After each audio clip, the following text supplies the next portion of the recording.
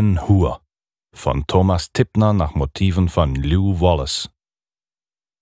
Gelesen von Matthias Ernst Holzmann. Erstes Kapitel Unter den Schwingen des mächtigen römischen Adlers war Judäa zusammengezuckt und schließlich gefallen. Eine Tatsache, wie Judah Ben Hur zugeben musste, unter der seine nach Freiheit lechzende jüdische Seele mehr denn je schmerzte besonders in den Momenten, wenn er begriff, wie abhängig sein Volk von den Römern war, dass sie ihren Statthaltern bedingungslos folgten, sich mit ihnen verbündeten und ihre eigene, ihre geistige Seele dafür aufgaben. Judah, der nicht klagen durfte, wie sein Vater ihm einst sagte, weil er unter der Herrschaft der Römer in eine reiche Familie hineingeboren worden war, verstand das alles nicht. Natürlich hatte er Glück mit seiner Geburt gehabt. Er war ein reicher, gemachter Mann, hatte noch niemals Hunger leiden müssen. Durst war ein Gefühl, an das er sich kaum noch erinnern konnte. Verlangte er nach etwas Abkühlung unter den heißen, auf ihn niederbrennenden Sonnenstrahlen, unter denen Jerusalem zurzeit litt, suchte er eine Therme auf und ließ sich von den zahlreichen Sklaven, die er sein eigen nannte, mit kühlem Wasser übergießen oder mit einem Federwedel Luft zu fächeln. Und doch, in ihm gärte es. Immer wieder glaubte er, unter den marschierenden Schritten der römischen Soldaten zu leiden. Wenn er die Befehle der beinahe wie ein Singen klingenden Sprache der römischen Offiziere hörte, kam es ihm so vor, als lege sich eine Kette um ihn, die nach und nach immer fester gezogen wurde. Auch jetzt, als er auf dem Balkon seiner Villa stand und hinunter auf die Prachtstraße schaute, wo zahlreiche Händler ihre Stände aufgebaut hatten und mit lauten, kehligen Stimmen ihre Waren feilboten, spürte er den hämmernden Schmerz der Unterdrückung in seiner Brust. Nicht, weil seine Villa überwacht wurde, nicht, weil er ins Visier der Römer geraten war, nicht, weil sein Reichtum bedroht wäre. Nein, er konnte einfach sehen, wie die Soldaten in ihren prächtigen Rüstungen und den langen purpurnen Mänteln und den kurzen Schwertern an ihrer Seite jeden misstrauisch betrachteten, der sich ihnen näherte oder sich vor ihren Blicken zu verstecken versuchte. Sie suchten Verräter, erfolgreich, wie Judah wusste. Er lehnte sich auf die Brüstung und stieß mit seiner bis zum Knie hochgeschnürten Sandale gegen eine lose aufliegende Schindel, die das unter dem Balkon entlanglaufende Dach deckte. Ein leises, knirschendes Schaben ertönte und riss Judah für einen kurzen Augenblick aus seinen Gedanken. Er senkte den Blick und sah, dass die Schindel sich komplett gelöst hatte. Der Halt, den er sonst hatte, war verloren. Judah bückte sich, rückte die Schindel wieder an Ort und Stelle zurück und nahm sich vor, sie so schnell wie möglich wieder befestigen zu lassen. Nicht, dass sie hinunterfällt und jemanden verletzt, dachte er, und merkte, wie er wieder zu dem eigentlichen Problem zurückkehrte, das ihn so sehr belastete, ohne jemandem sagen zu dürfen, dass es ihn quälte. Seit langem schon gingen Gerüchte um. Gerüchte, die wispernd davon berichteten, dass sich einige der Juden daran gemacht hatten, hinter dem Rücken der Römer einen Aufstand zu planen, dass sie sich vereinigen wollten, um gegen ihre Unterdrücker in den Kampf zu ziehen. Was für Narren, dachte Judah. Sie würden in einem offenen Kampf gegen die Legionen Roms doch niemals siegen können. Dafür waren die Männer des Kaisers viel zu gut ausgebildet.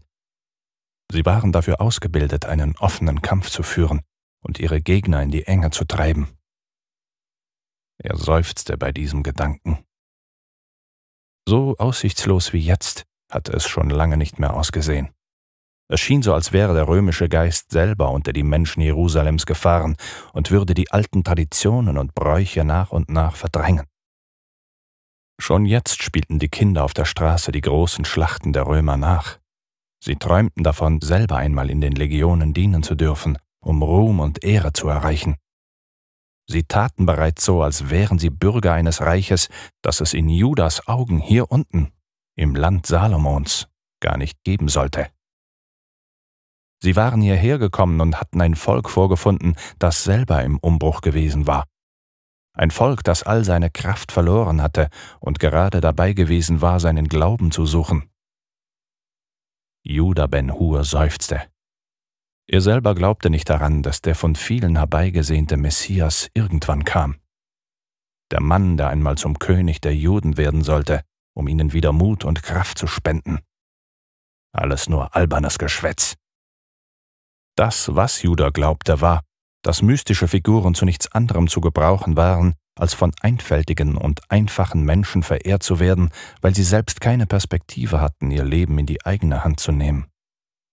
Außerdem war es albern, seine Hoffnungen an Dinge zu klammern, die in alten Schriften niedergeschrieben waren. Das war zumindest seine Meinung. Das, was zählte, war das Hier und Jetzt, ohne darüber ewig zu diskutieren. Man konnte nur jetzt zu Reichtum und Ansehen kommen. Später lebte man nicht mehr. Das Problem war aber, dass Judah sich eigentlich insgeheim nichts anderes wünschte, als dass die Träumereien der Menschen Wirklichkeit wurden. Dass es jemanden gab, der von Gott gesandt wurde, um den Leuten ihre Sünden zu nehmen und ihnen einen Funken Hoffnung zu schenken. Es war eine innere Qual dabei zuzusehen, wie die Menschen wimmerten und weinten, weil sie nicht wussten, wer sie überhaupt waren. Worte wie Judah sie in den Gebeten hörte, waren nichts für ihn. Sie waren zu abstrakt, zu wenig mit der Welt verhaftet.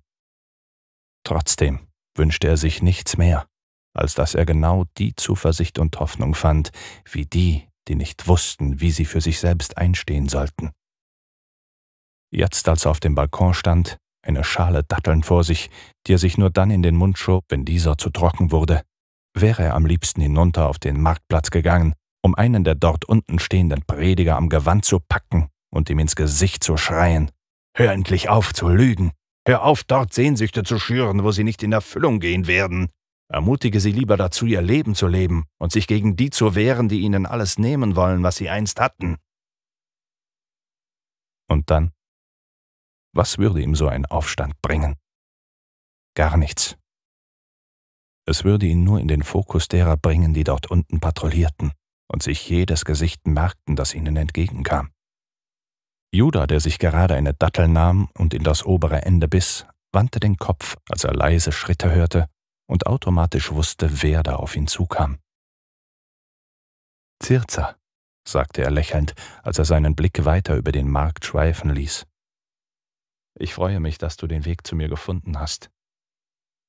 Judah, rief seine Schwester, die an der obersten Stufe stehen blieb und wartete, bis ihr Bruder sich zu ihr herumgedreht hatte. Hör auf damit, meinte er lächelnd und breitete die Arme aus. Aufhören? Womit? Fragte Tirza lachend. Noch hübscher zu werden, erwiderte Judah schmunzelnd und wusste nur zu gut, wie viele heiratswütige Männer ihren Platz mit dem seinen tauschen wollten. Dass sie ebenfalls hier oben stehen wollten, von einem Wärme in sich tragenden Wind umspielt, die schlank gewachsene Frau im Arm. Du schon wieder, antwortete Tirza lachend und drückte Judah so fest, dass er die Augen schloss, um die Nähe seiner Schwester zu genießen. Die letzten drei Wochen war sie auf Reisen gewesen, begleitet von ihrer Mutter, um der Hitze Jerusalems zu entfliehen. Sie hatten ihre Residenz außerhalb der Stadt aufgesucht, die in einem Tal lag, in dem Oliven angebaut wurden, ein Tal, das schöner nicht sein konnte. Er war immer gerne da gewesen und hatte seine Zeit dort verbracht, der Müßiggang, der gar nicht zu ihm passte, ergriff dort immer Besitz von ihm. Er zwang ihn regelrecht dazu, einmal nicht an die Geschäfte zu denken, die er übernommen hatte, nachdem sein Vater gestorben war. Ein Verlust, den er nicht überwinden konnte, wie Judah immer öfter spürte. Hatten sie am Abend zuvor noch zusammengesessen, gelacht und sich ausgemalt, wie sie den bevorstehenden Winter überbrücken sollten, bevor sie die neuen Schiffe im Frühling ausrüsteten und sie über das Mittelmeer zu schicken, um dort Handel zu treiben, so war sein Vater am nächsten Morgen auf dem Boden liegend, tot aufgefunden worden. Und gerade in solchen Momenten, wenn die Melancholie von ihm Besitz ergriff und er sich über das Für und Wider seines Lebens den Kopf zerbrach, vermisste er seinen Vater schmerzlicher denn je. Und dann halte ich noch meine Schwester im Arm, dachte er traurig, die meinem Vater so ähnlich ist, die sein Lachen geerbt hat und die dunklen schwarzen Augen. Augen, in denen sich die Weisheit ebenso wiederfand wie die Freude am Leben selbst. Auch ihr Gang, ihr Lächeln und die Art, sich zu bewegen, alles erinnert mich an meinen Vater. Schließlich, als er Tirza noch einmal fest an sich gedrückt und ihren Geruch eingeatmet hatte, der von einem Hauch Salbei unterstrichen war, kam ihm ein weiterer schmerzlicher Gedanke. Und auch sie wird mich eines Tages verlassen. Sie wird das Haus hinter sich lassen, in dem sie geboren wurde und aufgewachsen ist. Sie wird einen Mann heiraten, der sie fortbringt von hier. Fortbringt von mir. Aber Judah wollte es nicht zulassen, dass die schweren Gedanken alles in ihm zum Erliegen brachten. Aber in dem Augenblick, als er Tirza sanft von sich wegdrückte, sie noch einmal betrachtete und das zart geschnittene Gesicht mit seinen Blicken nachzeichnete, während ihm auffiel, wie hoch ihre Wangenknochen saßen, seufzte er und flüsterte Ich habe dich vermisst und Mutter auch. Sie schenkte ihm ein vor Freude strahlendes Lächeln, als sie erwiderte Wir dich auch. Aber verzeih, wenn ich sage, dass meine Gedanken oft auch im Nirgendwo geweilt haben weil ich meiner Seele Erholung verschafft habe. Du warst müßig, meinte Judah erfreut und schaute an Tirza vorbei zu einer Sklavin, deren goldener Halsreif ein einfaches, aus Leinen gefertigtes Gewand hielt, das die Vorzüge ihres Körpers mehr zur Geltung brachte, als sie zu verbergen. Sie war leise gewesen, wie ein Schatten, und senkte nun ihren schwarzhaarigen Kopf, um mit leiser, kaum verständlicher Stimme zu flüstern. Ich habe eine Nachricht für euch, mein Herr. Eine Nachricht? Judah war verwirrt. Nicht, weil er eine Botschaft bekam, daran war er gewöhnt. Das, was ihn verwunderte, war, dass seine Sklavin hier nach oben gekommen war, wo Judah Ben Hur am liebsten alleine war. Geschäfte oder Besuche empfing er stets in einem anderen Teil der Villa. Hier oben war er am liebsten alleine, nur in der Begleitung eines Freundes oder der Familie. Das wussten die Sklaven ganz genau weshalb Judah auch gleich wusste, dass die Sklavin etwas für ihn bereithielt, was von äußerster Wichtigkeit war. Vom Tribun Messala Severus, flüsterte die Sklavin und reichte Judah ein Pergament. Sein persönlicher Diener hat es mir eben gegeben, mit der Bitte, seinen Herrn bei euch vorsprechen zu lassen. Messala ist wieder in der Stadt? rief Tirza und strahlte ihren Bruder an. Ein Leuchten, wie Judas nur zu gut von sich selber kannte, wenn er an jene dachte, der er sein Herz geschenkt hatte, trat in die Augen seiner Schwester. Als wäre sie ein kleines Kind, das gerade einen Apfel geschenkt bekommen hatte, drehte sie sich herum und rief der Sklavin zu. Wo ist er denn? Er steht vor dem Haus und wartet auf eine Antwort des Herrn, ob er eintreten darf oder nicht. Er darf, erwiderte Tirza lachend, die sich nun eine Haarsträhne hinter das Ohr kämmte und dabei eine Verletzbarkeit offenbarte, die ihre Schönheit noch mehr unterstrich die ihr etwas Verlorenes, nein, eher etwas Verletzliches gab. Herr?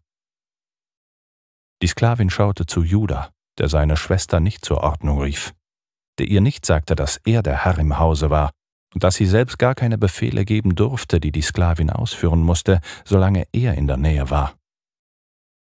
Ich lasse bitten, erwiderte er schmunzelnd, weil er sich an der Fröhlichkeit seiner Schwester erfreuen wollte, die auf die Sklavin zueilte, sie am Arm packte und in ihrer angeborenen Ungezwungenheit die junge Frau dazu abkommandierte, ihr zu helfen, sich herzurichten, damit sie Messala würdig aussehend unter die Augen treten konnte. Die Fröhlichkeit, die er sich selbst so sehr wünschte, hielt sich allerdings in Grenzen, oder besser gesagt, sie schlug in Traurigkeit um denn er wusste genau, wen er sich da in sein Haus einlud. Denn er wusste es nur zu gut und es bereitete ihm Kummer. Kummer, weil Messala sein bester Freund war und Judah nicht wusste, wie er ihm nun begegnen sollte. Freundlich? Neutral? Feindlich? Er seufzte. Judah wusste es einfach nicht.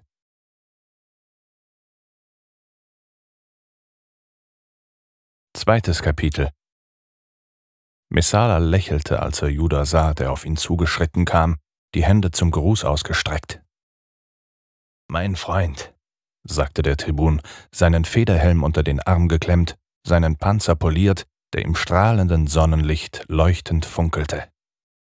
Mein Bruder, verbesserte er sich und lächelte Judah an, der noch immer freundlich, aber dennoch distanziert wirkte, der unter den beiden Worten zusammengezuckt war, als habe er einen Schlag mit der Peitsche bekommen.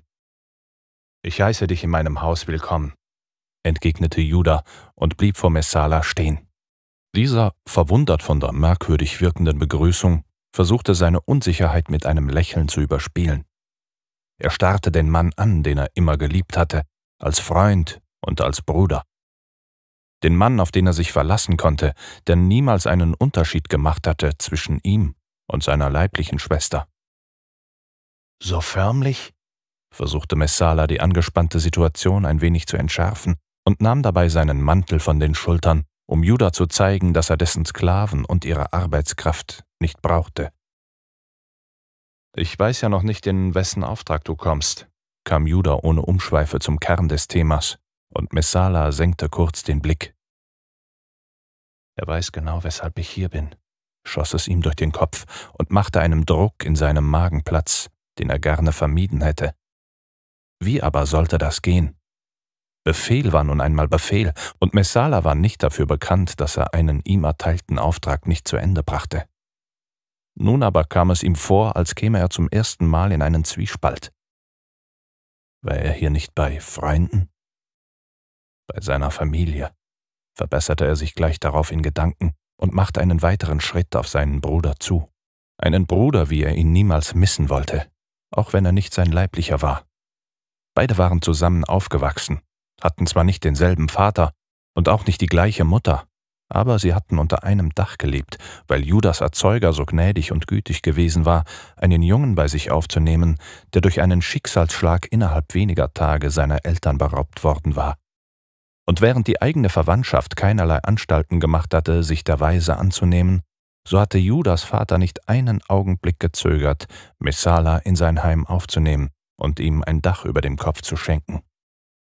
Was ist geschehen, dass wir uns so auseinandergelebt haben? fragte er sich nicht zum ersten Mal und musste dabei nur an die Briefe denken, die sie sich geschrieben hatten, nachdem Messala aufgebrochen war, um in der römischen Armee zu dienen und dort aufzusteigen. Briefe, wie er sie niemals hatte schreiben wollen. Briefe, die voller Kälte gewesen waren, voller belangloser Informationen, die niemals über seine wahren Gefühle berichtet hatten. Anders bei Tirza. Die Nachrichten, die er ihr hatte zukommen lassen, waren voller herzlicher, ehrlicher Empfindungen gewesen, so dass es ihn wunderte, dass er zu seinem Bruder nicht genauso offenherzig und ehrlich sein konnte. Er verscheuchte diese Gedanken, als er in das Gesicht von Judah schaute und ihm versicherte, Ich bin deinetwegen gekommen. Und damit log er nicht einmal. Er war tatsächlich wegen Judah hier. So oder so. Trotzdem beschlich ihn ein schlechtes Gewissen, als ihm bewusst wurde, welch zweideutiger Zunge er sich da gerade bedient hatte. Das freut mich zu hören. Komm, setzen wir uns doch zu Tisch und speisen und trinken gemeinsam. Ich lasse gerne ein Mahl und einen vorzüglichen Wein auftischen, wenn du es willst. Das klingt verlockend. Dann sei doch mein Gast. Und der meine, hörte Messalan und Tirzas Stimme erklingen und konnte den wilden Sprung seines Herzens nicht unterdrücken. Schon immer hatte er insgeheim für seine Stiefschwester geschwärmt, hatte sich nicht satt sehen können an ihrem weichgeschnittenen, katzengleichen Gesicht. Alleine der Anblick ihrer gebräunten Haut veranlasste ihn dazu, ein Kribbeln im Bauch zu spüren, das schon beinahe unangenehm war das so intensiv an ihm nagte, dass er sich mehrmals, wenn er auf einer einfachen Pritsche in seinem Zelt gelegen hatte, dabei erwischt hatte, dass er sich Tirza herbeisehnte, um die Einsamkeit im Heerlager für einen Moment vergessen zu können. Der bin ich nur zu gerne, gestand er ihr mit belegt klingender Stimme und deutete eine Verbeugung an. So wie dein Diener. Dann begleite mich, bat Tirza und streckte ihm die Hand entgegen, nach der er zitternd griff. Was sollte das? Was war nur los mit ihm? Er war hierher gekommen, um eine Aufgabe zu erfüllen und nicht um sich den Kopf von einer Frau verdrehen zu lassen, die aussah wie eine aus dem Himmel herabgestiegene Göttin. Messala schluckte, als die weichen Fingerspitzen die seinen berührten. Seine Knie wurden plötzlich weich, und jeder, der sich am Eingang der Villa befand, war auf einmal vergessen. Es gab nur noch Tirza und ihn. Sie, die so verführerisch roch, deren Haare zu einem kunstvollen Zopf geflochten und in denen mehrere silbern glänzende Perlen und Kettchen eingearbeitet waren. Selbst Miriam, seine Ziehmutter, die nun in Begleitung zweier Sklaven zu ihm kam, sah er anfangs nicht. Erst als sie ihre Stimme erhob und alle Förmlichkeiten vergaß, indem sie ihn in den Arm nahm und ihm einen Kuss auf die Wange hauchte, als wäre er ihr leibliches Kind, kehrte er aus seiner Traumwelt zurück in die Wirklichkeit. Hierher, wo er mit Judah zu sprechen hatte, über etwas, das ihm so schwer auf der Seele lastete, dass er glaubte, unter dem auf ihm liegenden Druck zerbrechen zu müssen.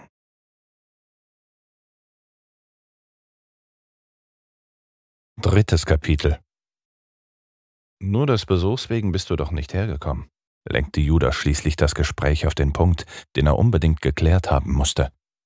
Er hatte seinem Bruder sofort angesehen, dass dieser mit sich rang, dass er es nicht über sich brachte, über das zu sprechen, weshalb er wirklich hier war. Deshalb hatte Judah ihn auch nach dem Essen darum gebeten, mit ihm hinauf auf den Balkon zu kommen, um dort unbeschwert den anbrechenden Abend bewundern und ihn genießen zu können. Was treibt dich denn sonst noch in das Haus, das dich einst aufgenommen und versorgt hat? In erster Linie die Liebe, die ich hier immer erfahren habe. Und in zweiter Linie? Du. Ich? Judah lächelte. Das Spiel haben wir schon früher immer gespielt. Keiner gab nach, bis es keine andere Möglichkeit mehr gab, um mit der Wahrheit herauszurücken. Und bisher haben wir uns beide ganz gut geschlagen. Aber jetzt gewinne ich. Ich habe ihn genau da, wo ich ihn haben möchte, um zu erfahren, was er mir zu sagen hat. Deshalb erhob er erneut die Stimme, schenkte seinem Bruder ein weiteres gönnerhaftes Lächeln und warnte ihn, als er an die Brüstung trat. Hier sind mehrere Schindeln locker, sei also vorsichtig und wirf keine herunter, nicht dass dort unten noch jemand zu Schaden kommt. Wie immer achtest du auf mein Wohlergehen. Wie immer sprichst du das nicht aus, was du wirklich denkst oder fühlst. Was willst du denn hören? Seufzte Messala, stützte sich auf dem Sims ab und starrte hinunter in das langsam abebbende Treiben des Marktes und schien dabei ernsthaft mit sich zu kämpfen. Die Worte, das bemerkte Judah sofort, dienten nur dazu, um ihm ein wenig mehr Zeit zu verschaffen, damit er endlich den Mut fand, das auszusprechen, weshalb er hergekommen war dass ich einer der besten und erfahrensten Wagenlenker geworden bin, als ich in den Dienst der Legionen trat? Dass ich den Streitwagen lenken und führen kann wie kein anderer Mann? Judah, willst du das von mir wissen? Dass ich zu einem Tribun in der Armee meines Kaisers aufgestiegen bin?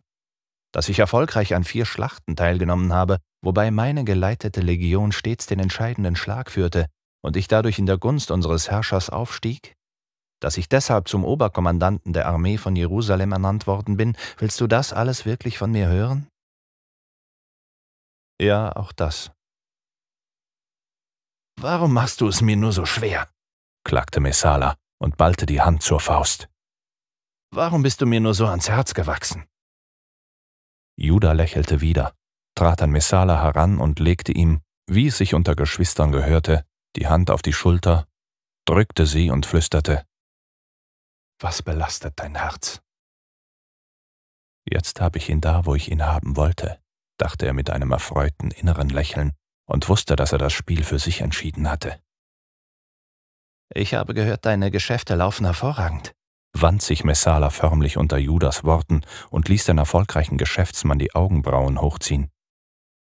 Bisher hatte ihre kleine Auseinandersetzung immer damit geendet, dass der eine Bruder dem anderen nachgab, sobald dieser begriff, dass es aus dem Dilemma keinen Ausweg mehr gab.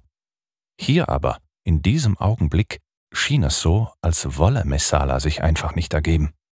Als wolle er noch einmal das verbale Schwert erheben und sich gegen die auf ihn zustürmende Übermacht behaupten. Das tun sie, ja, bestätigte Judah. Simonides soll in den nächsten Tagen hier erscheinen. Er hat in Antiochia geweilt, um dort die letzten eingehenden Waren zu erfassen.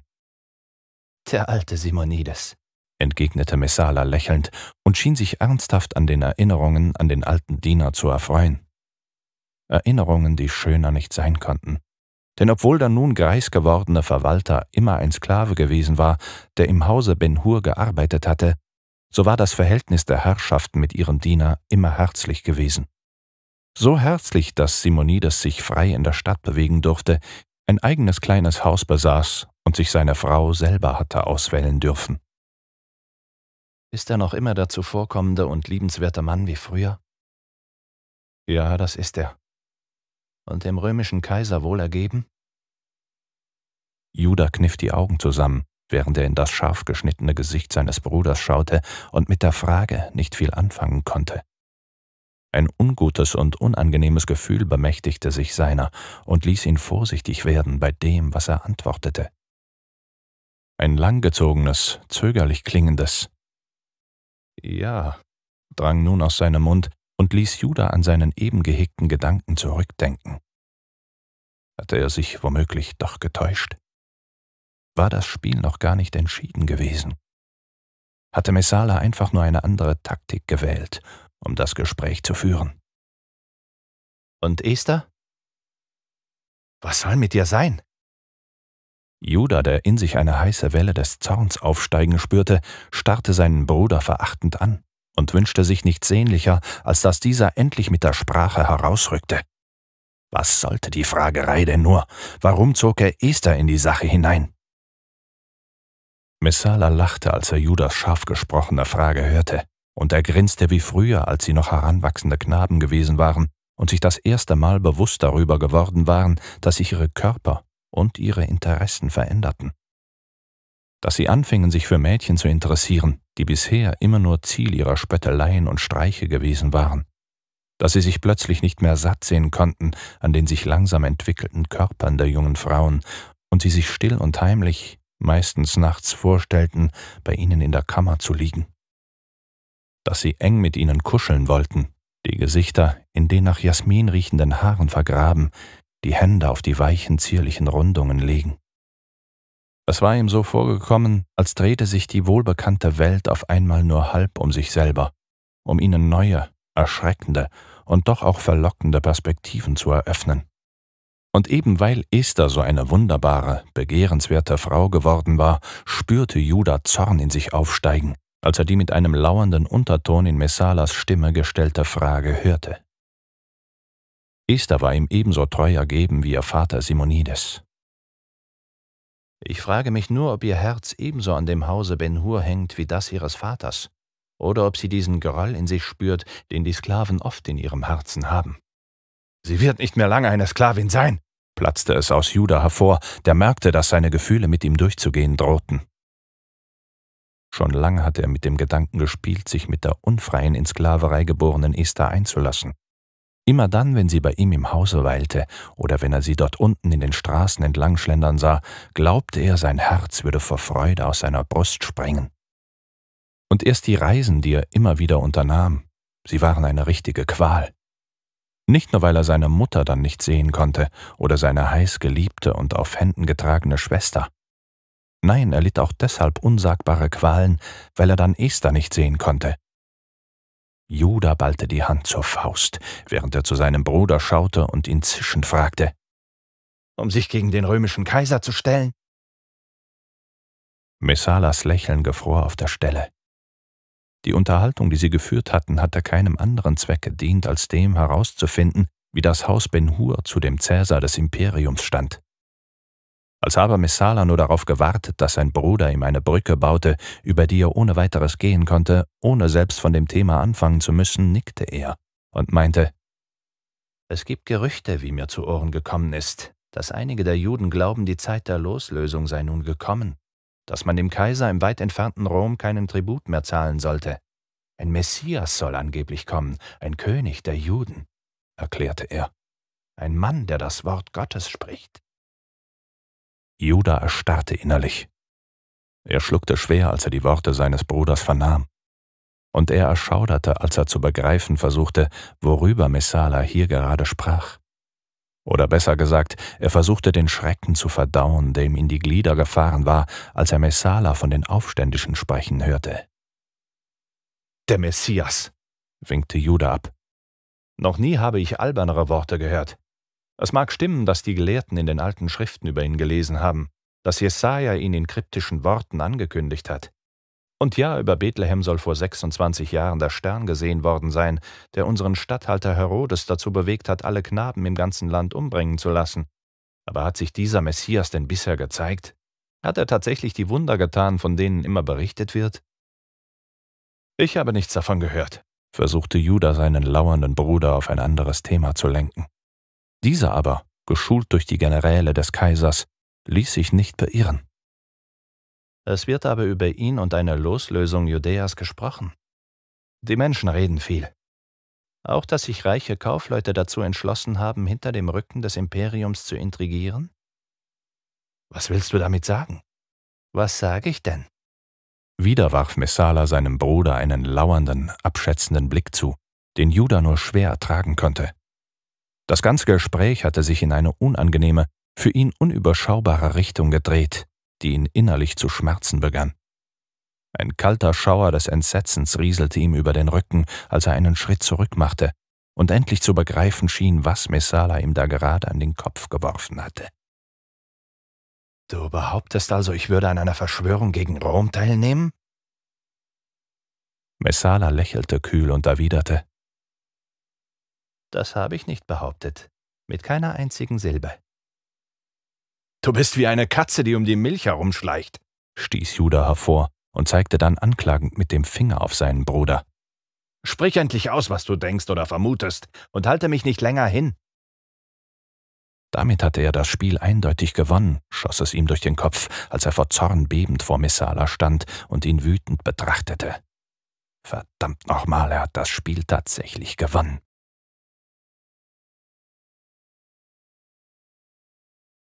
Viertes Kapitel Er geht schon wieder? fragte Tirza verwundert, die in dem großen Speisesaal gesessen und gewartet hatte, dass ihr Halbbruder wieder zu ihnen herunterkam, um den angebrochenen Abend mit etwas Musik und netten Plaudereien fortzuführen. Mit Verwunderung hatte sie beobachtet, wie Messala und Judah vom Balkon heruntergekommen und in den Salon gegangen waren. Keiner der beiden hatte sie auch nur eines Blickes gewürdigt. Messala hatte sich nicht von ihr verabschiedet. Judah war vor Wut schäumend in den Saal gestürmt und hatte nach einem Pokal mit Wein gegriffen. Messala hingegen war auf den Ausgang des Salons zugegangen. Seinen federgeschmückten Helm unter dem Arm, seinen purpurnen Mantel hinter sich herwehend und sich bei jedem Schritt aufbauschend. Selbst Miriam, die auf ihren Ziehsohn zugegangen war, um ihn bei den Händen zu fassen und zu fragen, was vorgefallen war, ließ er einfach stehen. Er hatte nur den Kopf geschüttelt und irgendetwas zu ihr gesagt, als er an ihr vorbeistürmte. Von Kummer gezeichnet und von Verwirrung heimgesucht, hatte Miriam dagestanden und gewirkt wie ein geprügelter Hund. Ihre Schultern, sonst immer straff und vor Stolz auf die Familie ganz hoch erhoben, waren in sich zusammengesackt. Es ist so wie damals, als Vater starb, dachte Tirza bekümmert, während ihr Blick von ihrer Mutter zu Judah wanderte. Dieser, noch immer im Rausch seines Zorns, hatte den Pokal gierig zu den Lippen gehoben und den Wein in einem Zug hinuntergestürzt. Er war so voller Wut und Hass, dass Tirza sich kaum traute, ihm auch nur einen flüchtigen Blick zuzuwerfen. Die Furcht davor, dass er in seinem Zorn auch sie mit bösen Worten strafen könnte, ließ sie weiter schweigen. Messala, hörte sie nun ihre Mutter sagen und hatte das Gefühl, als würde ihr jemand die Luft abschnüren. Er soll einfach nur verschwinden, eiferte sich Judah und schenkte sich einen weiteren Becher Wein ein. Dann griff er zu den auf einem Teller liegenden Trauben. Aber wieso? Weil ihm das Imperium mittlerweile ganz offensichtlich näher steht als seine eigene Familie. Was redest du denn da, mein Kind? sagte Miriam entsetzt, starrte ihren Sohn an und zuckte zusammen, als die schweren Flügeltüren ins Schloss fielen, nachdem Esala das Haus verlassen hatte. So wie sie es eben auch bei ihrem Ziehsohn getan hatte, streckte sie jetzt ihre Hände nach Judah aus und ging auf ihren Jungen zu. Genau so, wie ich es gesagt habe, schnaufte Judah und ließ seine Mutter nicht näher an sich herankommen, wie Tirze erschrocken feststellte. Es wirkte plötzlich so, als habe sich eine Wand zwischen ihr und ihrem Sohn erhoben, die unüberwindbar schien. Eine Mauer von Feindseligkeit und Groll erbaut, an der man sich nicht festhalten konnte, um sie emporzuklettern.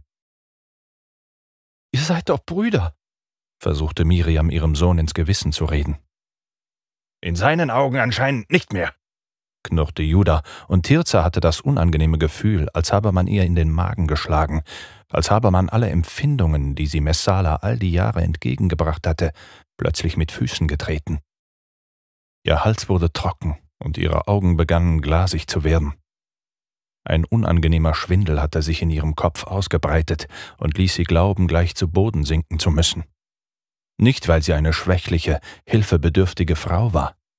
Nein, sie hatte das Gefühl deshalb, weil sie auf einmal zu begreifen schien, dass all die Jahre des Wartens, all die Jahre des Hoffens mit einem Schlag zunichte gemacht worden waren.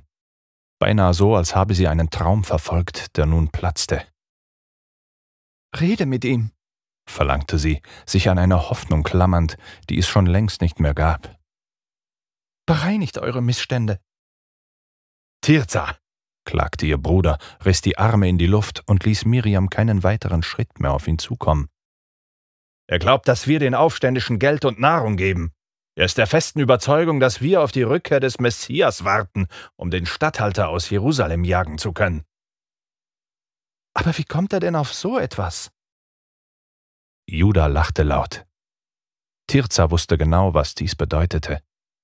Sie wusste, dass Judah oft mit ihrem Vater über die Unabhängigkeit Judäas gesprochen hatte, dass sie es sich in den schönsten Farben ausgemalt hatten, wie es sein würde, wenn es einen eigenen Staat geben würde, regiert von jüdischen Königen, geleitet von Ministern, ernährt von einflussreichen Händlern. Messala hatte den Unterhaltungen sogar beigewohnt. Immer wieder hatten sie abends zusammengesessen und geredet, geschwärmt und auch das ein oder andere aufrührerische Wort gesprochen. Aber dieses Gerede in die Tat umsetzen? Niemals. Dazu war keiner von ihnen fähig. Dazu hatte ihr Vater viel zu viel Ehre im Leib gehabt, weil er genau wusste, weshalb er zu einem bedeutenden und großen Kaufmann aufgestiegen war. Ohne die Römer und ohne ihr Verständnis von Handel und ihre Liebe zur Kunst wäre das Haus Ben Hur ein ganz und gar unauffälliges geblieben. Das glaube ich nicht, flüsterte Tirza, die nun die gleichen Gedankengänge wie ihr Bruder hatte. Das kann er nicht ernsthaft glauben. Hast du ihn daran erinnert, dass er selbst solche Reden von sich gegeben hat, als ihr zusammengesessen habt? Ich habe ihn an alles erinnert, was uns einst verbunden hat. Er ist aber nur noch dem Imperium verpflichtet. Er hat aber dort keinen Einfluss, oder? schob Tirza hoffnungslos hinterher, weil sie selbst gesehen hatte, in was für Gewänder ihr Bruder sich hüllte und wie viele Männer ihm unterstellt waren. Er war offensichtlich aufgestiegen zu einem der mächtigsten Männer der Stadt. Er kommandiert das gesamte Heer des römischen Reiches in Judäa, gab Judah seiner Schwester den Gnadenstoß, der sie erneut zusammenzucken ließ, und als er sah, dass ihr Tränen der Angst in die Augen gestiegen waren, sagte er, Sein Hauptaugenmerk liegt auf der Beschaffung von Informationen. Und welche hat er über das Haus Ben Hur? wollte Miriam wissen, die die Hand vor Schreck vor den Mund gelegt hatte und sich ebenso wie ihre Kinder die schrecklichsten Szenarien auszumalen begann. Er hat sie mir nicht genannt. Es waren nur Fragen, die er stellte. Dann werden wir ihm auch keine Möglichkeit bieten, weitere zu stellen, entschloss sich Miriam daraufhin und schaute ihre Kinder ermahnend an. Beide nickten und Tirza wäre am liebsten weinend zusammengebrochen und verfluchte ihr Herz, das sie einst an Messala verschenkt hatte.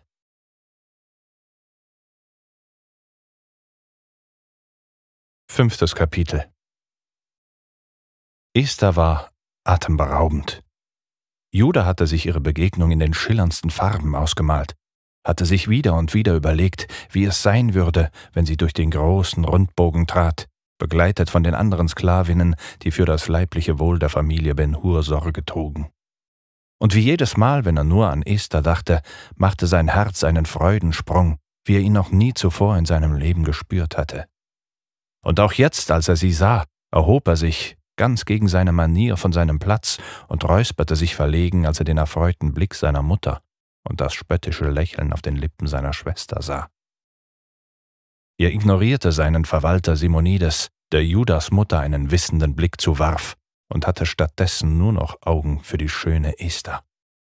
Die Frau, die sein Herz im Sturm erobert hatte und ihn sich fühlen ließ, als wäre er wieder ein kleiner Junge, der zu nichts anderem imstande war, als mit Dattelkernen nach Mädchen zu schnipsen und es für originell hielt, den Schwestern Honig in die Haare zu schmieren.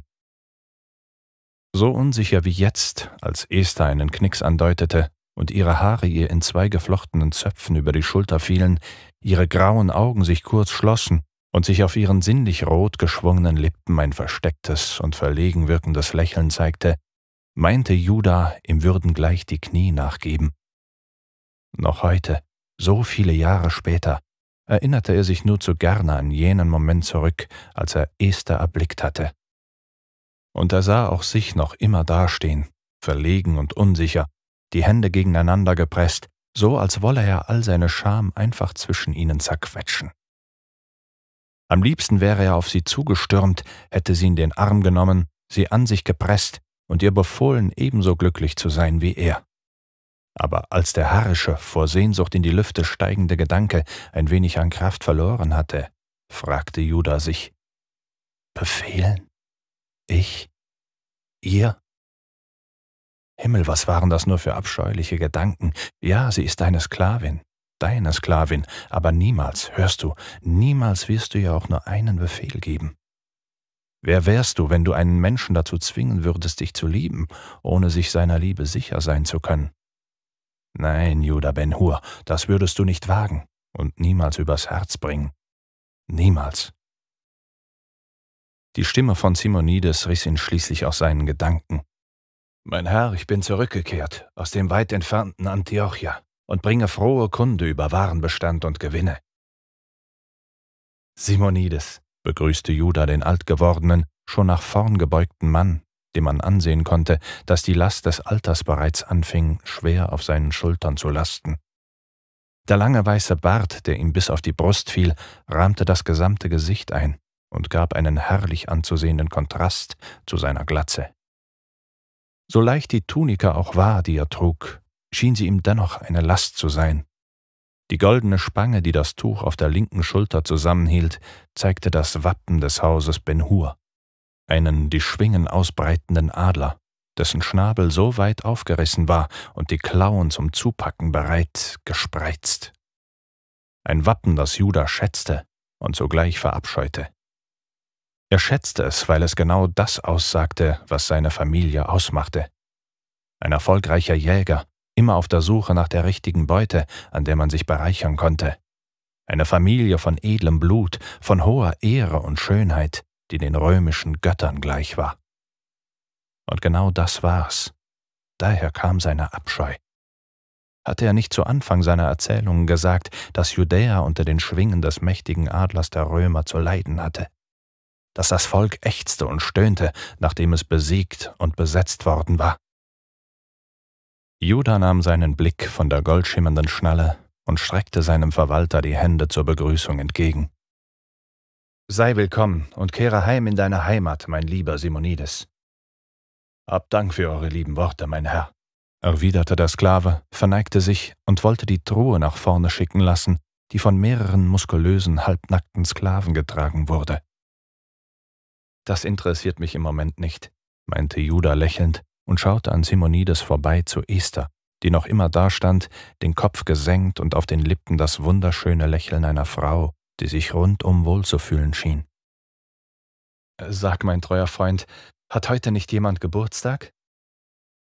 Simonides nickte, machte einen Schritt zurück und zeigte mit einer ausschweifenden Handbewegung auf seine Tochter. Ihr habt es nicht vergessen? Er hat in den letzten drei Tagen von nichts anderem mehr gesprochen, fiel Tirza während der Zeremonie aus der Rolle, ohne dass sie deswegen allerdings eine Konsequenz zu erwarten hatte. Jeder der hier Anwesenden wusste, wie nah Simonides und seine Tochter den Benhurs standen. Und doch erregte sie mit ihrem Kommentar Judas Ärger. Was sollte das? Wollte sie ihn bloßstellen? Hier vor Esther. Judas Hals war ganz trocken, bevor er sich räusperte, und einer der im Saal anwesenden Sklavinnen ein Zeichen gab, zu ihm zu treten, um ihm eine kleine Schriftrolle, die auf einem silbernen glänzenden Teller lag, zu reichen. Mein Geschenk zu deinem 21. Geburtstag, meinte er mit rau klingender Stimme und ging an Simonides vorbei, der ihm einen fragenden Blick zuwarf. Hier, nimm. Was ist das, mein Herr? Judah, verbesserte er sie, während ihm Esthers Stimme durch den Kopf schwebte wie Wein, der ihn nach und nach in einen Rauschzustand versetzte. Ihr seid mein Herr? wehrte sie ab, als sie hörte, dass ihr der Mann, der über ihr Leben ebenso zu entscheiden hatte wie über ihren Tod, plötzlich vor allen Menschen anbot, ihn beim Vornamen zu nennen. So befremdlich, wie sie sich jetzt fühlte, hatte er damals ebenfalls empfunden. Da waren sie noch Kinder gewesen, hatten miteinander gespielt und sich nicht darum gekümmert, dass er als freier Sohn eines erfolgreichen Kaufmannes und sie als unfreie Sklavin geboren worden war. Plötzlich, von einem Tag zum anderen, hatte sie ihn dann doch nicht mehr mit Judah ansprechen dürfen, waren ihr keine verspielt wirkenden Ellbogenstöße mehr gestattet gewesen. Sie hatte sich in ihre und er sich in seine Rolle fügen müssen. Und jetzt, so viele Jahre später, wo die Distanziertheit zwischen ihnen beinahe schon alltäglich geworden war, durchbrach Judah den Kreislauf und verlangte von ihr etwas, das es nur selten zuvor gegeben hatte.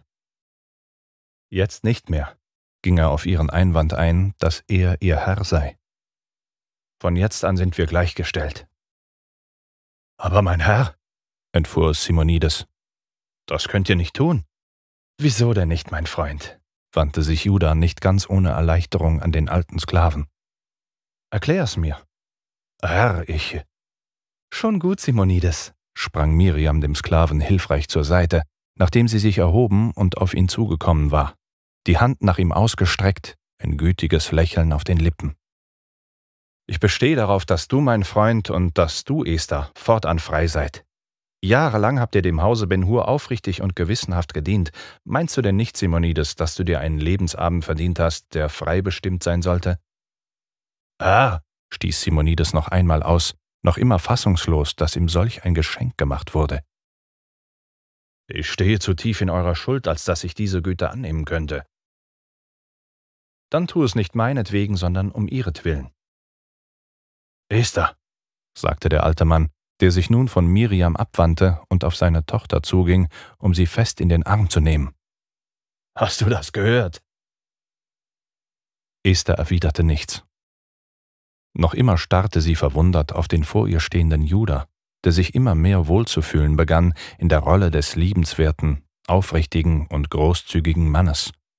Aber dann, nachdem Esther mit zitternden Fingern nach der Schriftrolle gegriffen hatte und sie nun frei war, und er endlich das, was er schon seit langem plante, in die Tat umsetzen konnte, verließ ihn der Mut.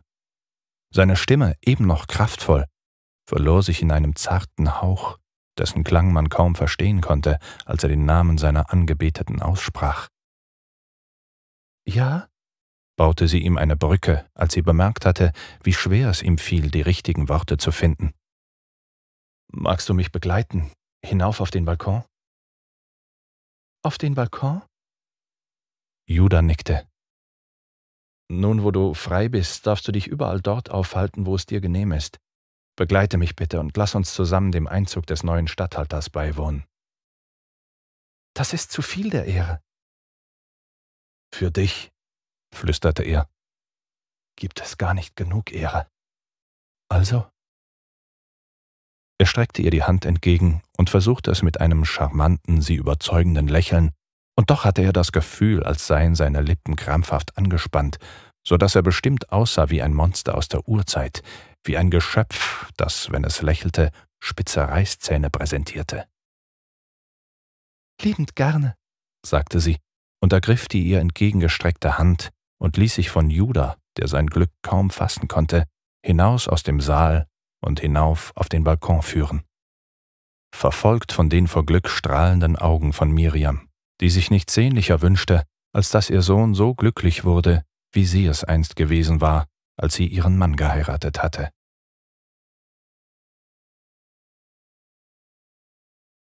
Sechstes Kapitel Der Blick auf den Festzug war atemberaubend.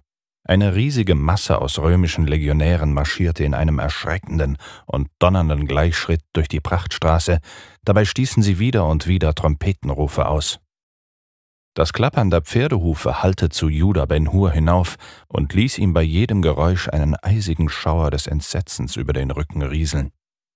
Gerade jetzt, in solchen Momenten, wenn ihm die Stärke Roms bewusst wurde, fragte er sich, wie es sein konnte, dass er auch nur einen Augenblick den Gedanken hatte hegen können, dass ein Aufstand gegen die Legionen des Kaisers von Erfolg gekrönt sein könnte.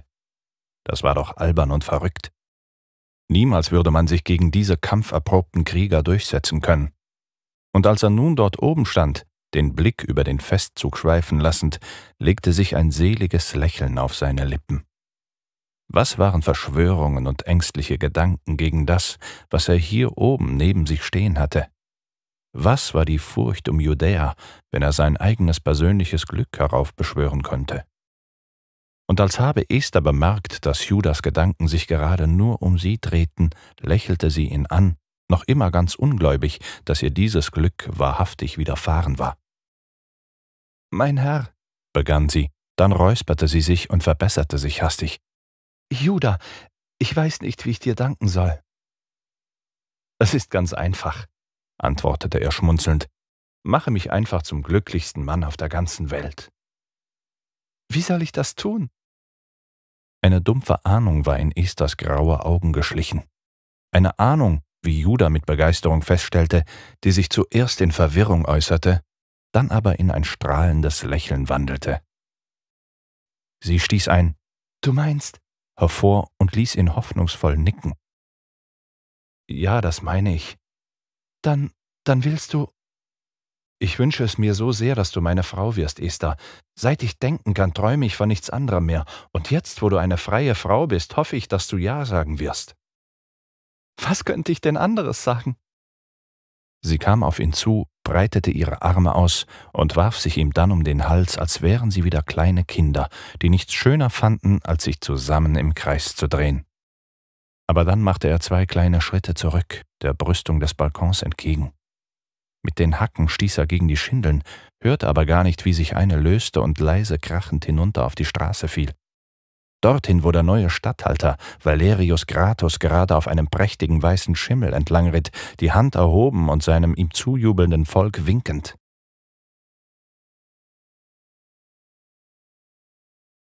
Siebtes Kapitel Die Schreie der Sklaven und Diener halten Judah bereits entgegen, als er eiligen Schrittes vom Balkon herunterging, um den ins Haus stürmenden Soldaten des römischen Kaisers entgegenzutreten. Sein Herz schlug ihm bis zum Hals, als er die Legionäre sah, es kam ihm so vor, als habe man ihm ins Gesicht geschlagen, als er mit ansehen musste, wie seine Mutter, ebenfalls um Schadensbegrenzung bemüht, von einem der Männer hart gepackt und gestoßen wurde. Tirza, vor Schrecken ganz bleich geworden, lehnte an einem Türrahmen und starrte die noch immer ins Haus stürmenden Soldaten an. Diese bedrohten die Sklaven, warfen einen der Diener zu Boden und hielten Simonides die Spitze des Gladius direkt unter das Kinn, während sie mit scharf gesprochenen Worten drohten. Keinen Schritt weiter, Alter, oder ich stoße zu.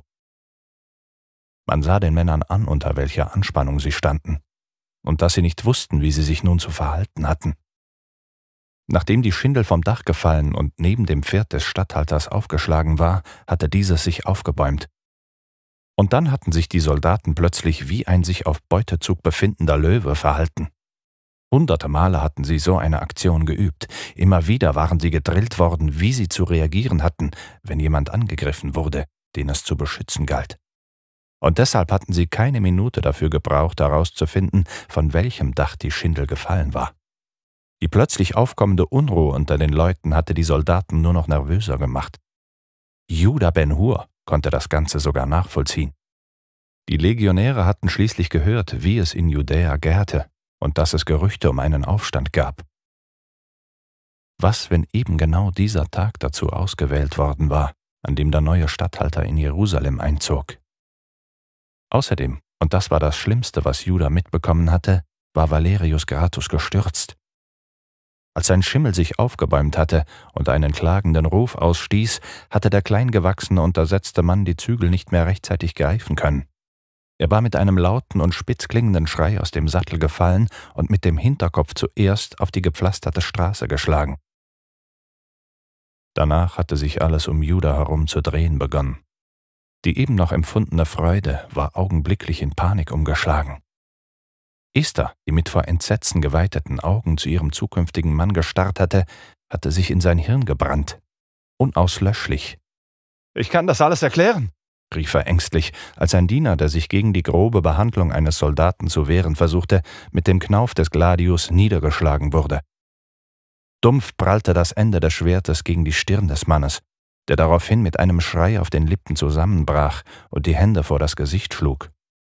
Er war noch gar nicht zu Boden gegangen, da sah Judah schon, wie dem Mann das Blut zwischen den Fingern hindurchsickerte. Haltet ein! schrie er und hörte, wie seine Stimme sich zu überschlagen drohte. Keine Gewalt! Verlangt der, der unseren Rom treu ergebenen Valerius Gratus angegriffen hat? Messala, stieß Judah erschrocken hervor, als ihm bewusst wurde, was sein Bruder, der sich gerade wie durch eine von Geisterhand geschaffene Gasse auf ihn zubewegte, da eben gesagt hatte.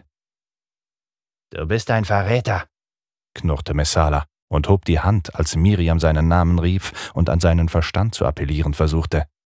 Und als dieser wirst du jetzt Rede und Antwort stehen müssen. Du weißt nicht, was du da sagst. Aber du weißt, was du gerade getan hast. Ich habe nichts Unrechtes getan, beharrte Judah, der auf die hinter sich stehende Esther zeigte. Außer dass ich um die Hand der Frau angehalten habe, die ich über alles liebe. Und bei unserer anschließenden Umarmung hat sich eine Schindel gelöst und ist in die Tiefe gefallen. Messala, du musst mir glauben, wenn ich es dir sage. Bist du wirklich so feige, dass du deine Sklavin vorschieben musst, um deiner Strafe zu entgehen, Bruder? Das letzte Wort spie Messala förmlich aus und ließ Judah einen erschrockenen Schritt zurückmachen. Fassungslos, als habe man ihm gerade mit der flachen Hand ins Gesicht geschlagen, starrte er zu dem Tribun und bekam vor Staunen den Mund nicht mehr zu. Du weißt so gut wie ich, dass ich mich niemals verstecken würde. Dann begleite mich in den Palast des Statthalters und stelle dich dort einem römischen Gericht. Messala! rief nun Miriam, die Männer ignorierend, die sie bedrohten, und versuchten sie zurückzuhalten. Was hat Judah dir denn getan, dass du dich jetzt so gegen ihn stellst? Er ist der Feind des römischen Imperiums, behauptete der Tribun, ohne sich auch nur zu Miriam umzudrehen.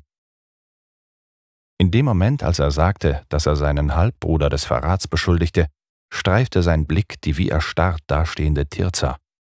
Und es schien so, als kämpften zwei Herzen in seiner Brust, als müsse er einen inneren Dialog über sich ergehen lassen, zwei Stimmen, die erbittert miteinander kämpften und das Für und Wider miteinander auszudiskutieren versuchten. Schließlich, als er sich wieder straffte, weil er es nicht mehr schaffte, sich gegen die von Tränen begleiteten Blicke von Tirza zu behaupten, drehte er sich zu Judah herum und sagte, Begleite mich. Messala.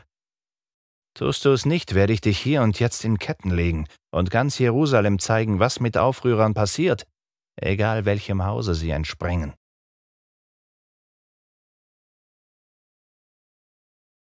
Achtes Kapitel die letzten drei Tage waren die Hölle gewesen. Bisher war Judah alles andere als fromm gewesen, geschweige denn darauf aus, sein Leben mit denen zu vergleichen, deren Namen, Taten und Tode in der heiligen jüdischen Schrift festgehalten worden waren. Aber jetzt, als er zusammengesunken in einer nach Moder, Urin und Exkrementen riechenden Kammer saß und sich sicher war, in der Ferne das Quieken von Ratten zu hören, fielen ihm all die Geschichten der Heiligen wieder ein. Er hörte plötzlich die Priester darüber erzählen, wie das heilige Volk die Wüste durchquert und von Moses ins heilige Land geführt worden war. Wie sie von den Ägyptern verfolgt wurden und sich sicher gewesen waren, dass sie alle sterben würden. Dass sie keine Chance hatten, ihrem einmal aufgezeigten Schicksal zu entkommen. Und jetzt, als er sich die Geschichten zurück ins Gedächtnis rief, spürte er, wie sie ihm Trost und Zuversicht spendeten. Denn als Moses gegen den Pharao gekämpft hatte, hatte er auch seinen Mut nicht verloren. Er hatte für sich eingestanden und für jene, die seines Schutzes bedurft hatten. Ebenso wie der Zug der Juden durch die Wüste. Sie alle waren verloren gewesen, aber eines hatte sie letzten Endes gerettet. Ihr Glaube. Und eben weil Judah bisher keinerlei Zugang zu diesem Thema gehabt hatte, traf ihn die Zuversicht wie ein Keulenschlag. Nicht, dass er jetzt plötzlich ein gläubiger, für die heilige Schrift kämpfender Jude war. Nein, das nicht, aber er hatte begriffen, dass man auch in ausweglosen Situationen nicht mit dem Schicksal hadern sollte. So schlimm es auch um einen stand, irgendwer würde für einem da sein und einem zur Seite stehen. Deshalb hoffte er, dass Messala wieder zu Verstand kommen würde, dass dieser die ganze Situation noch einmal analysieren und zu dem Schluss kommen würde, dass sein Bruder alles war, nur kein Verräter. Einer, das gab Judah durchaus zu, der es gerne sehen würde, wenn die Römer das Land wieder verlassen würden, aber niemals einer, der mit dem Schwert in der Hand gegen die Besatzer vorgehen würde. Konnte Messala überhaupt so weit denken? War er dazu noch in der Lage? Was auch immer Judas Bruder dazu gebracht hatte, die Stärke der Legion des römischen Heeres mehr zu lieben als seine Familie, er betete dafür, dass Messala rechtzeitig begriff, was er hier tat. Und wie eben schon, als die Ratten quiekten und die Schritte auf der Wehr über Judah deutlich zu hören waren, wünschte er sich, dass der Schrecken endlich zu Ende war, in dem er sich gerade befand, und dass sich alles klären würde. Er richtete sich auf, als er die näher kommenden Schritte vernahm und die donnernde Stimme seines Bruders, die befahl, dass die Zellentür aufgeschlossen werden sollte. Das durch die Tür einfallende Licht blendete Judah so sehr in den Augen, dass er die Hand heben musste, um sich vor der Helligkeit zu schützen. Es kam ihm so vor, als würden ihm Feuerlanzen in die Augen stechen, als der Fackelschein zu ihm drang und alle Dunkelheit vertrieb, in der er eben noch gesessen hatte. Das Gericht ist zu einem einstimmigen Ergebnis gekommen, sagte Messala und schien sich gar nicht darum zu kümmern, wie elend sein Bruder aussah. Wie er dastand in durchnässter Kleidung, aufgeschürften Knien und Beinen, einem Bart im Gesicht, ungepflegt und ungewaschen. Messala, keuchte Judah, der einen taumelnden Schritt nach vorne machte und merkte, wie sehr ihm die Qual des Hungerns zugesetzt hatte und dass ihm die Kraft fehlte, geradeaus zu gehen. Du weißt, dass ich die Schindel nicht vom Haus geworfen habe. Ich habe dich doch selbst davor gewarnt, sie zu berühren, weil sie schadhaft sind. Warum hast du sie dann nicht instand setzen lassen, Judah? nahm Messala seinem Bruder den Wind aus den Segeln. Es wäre dir doch ein leichtes gewesen. Trotzdem blieben sie locker. Es gab eben viel zu tun. Ich dachte mir schon, dass du so etwas sagen würdest, und genau deswegen habe ich deine Worte auch dem Gericht vorgetragen. Und was haben sie gesagt? Dass sie dir nicht glauben, Judah. Sie sind ebenso wie ich der Meinung, dass du absichtlich die Schindel fallen gelassen hast, um unseren vom Kaiser persönlich eingesetzten Statthalter zu töten oder wenigstens schwer zu verletzen, damit du allen zeigen konntest, wie leicht das Imperium zu besiegen ist. Das ist doch vollkommen absurd, entfuhr es Judah, der sich seinem Bruder entgegenwarf, um ihm direkt in die Augen blicken zu können. Und das weißt du ganz genau. Dein Urteil ist gefällt, und ich bin hier, um es zu vollstrecken. Du willst mich töten? Judah rutschte das Herz in die Hose.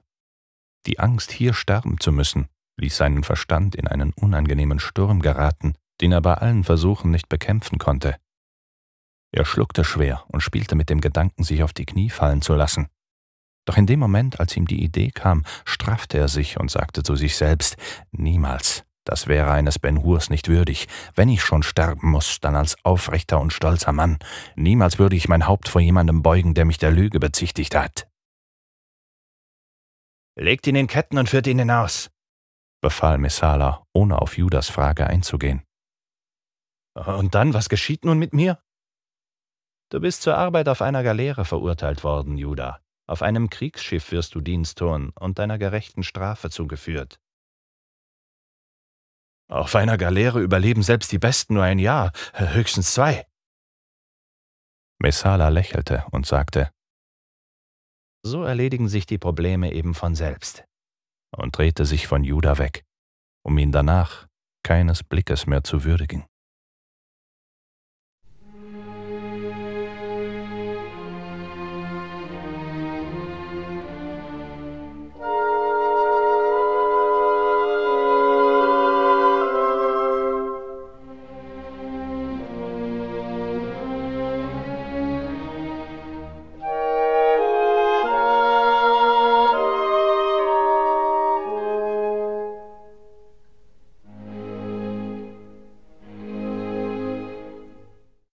Neuntes Kapitel Wo hast du ihn hingebracht?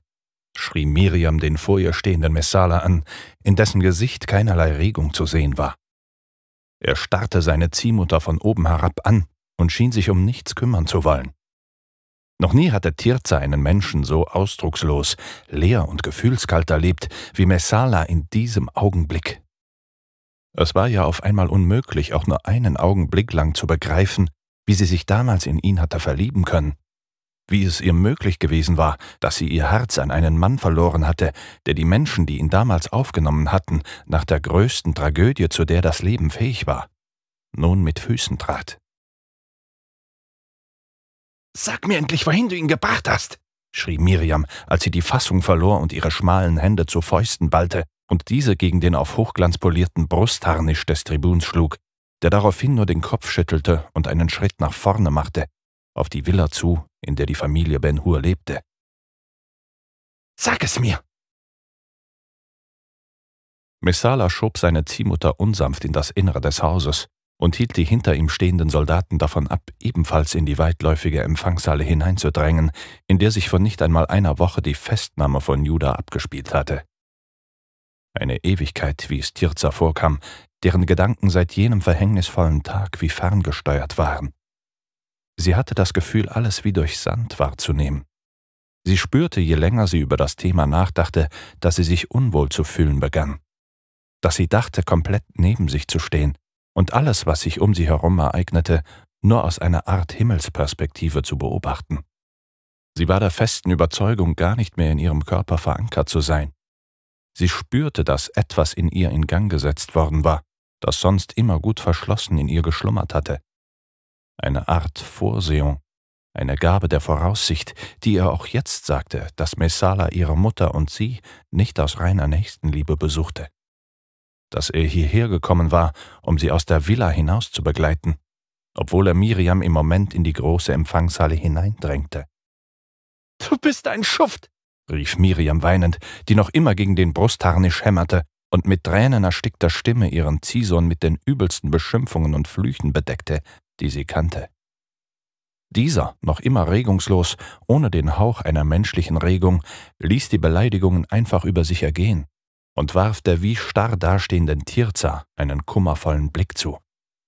Einen Blick, wie Judas Schwester zu erkennen glaubte, in dem sich alle Qual und aller Schmerz vereinigte, den er imstande war aufzubringen.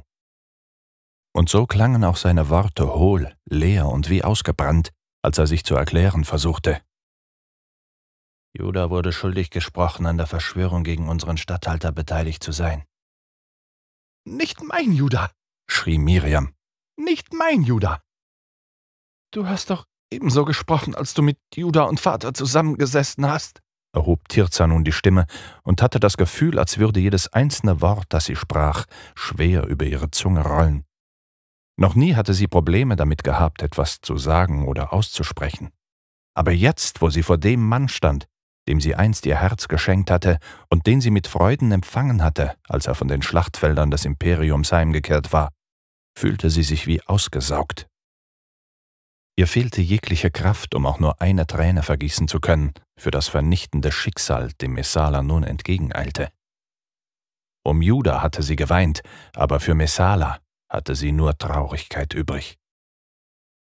Aber ich habe die Worte niemals geglaubt, verteidigte sich Messala, straffte seinen Körper und hielt die Hände seiner Ziehmutter fest. Im Herzen war ich schon immer ein Römer, immer ein Verfechter des Imperiums. Euer Gift hat meinen Verstand nicht betäubt.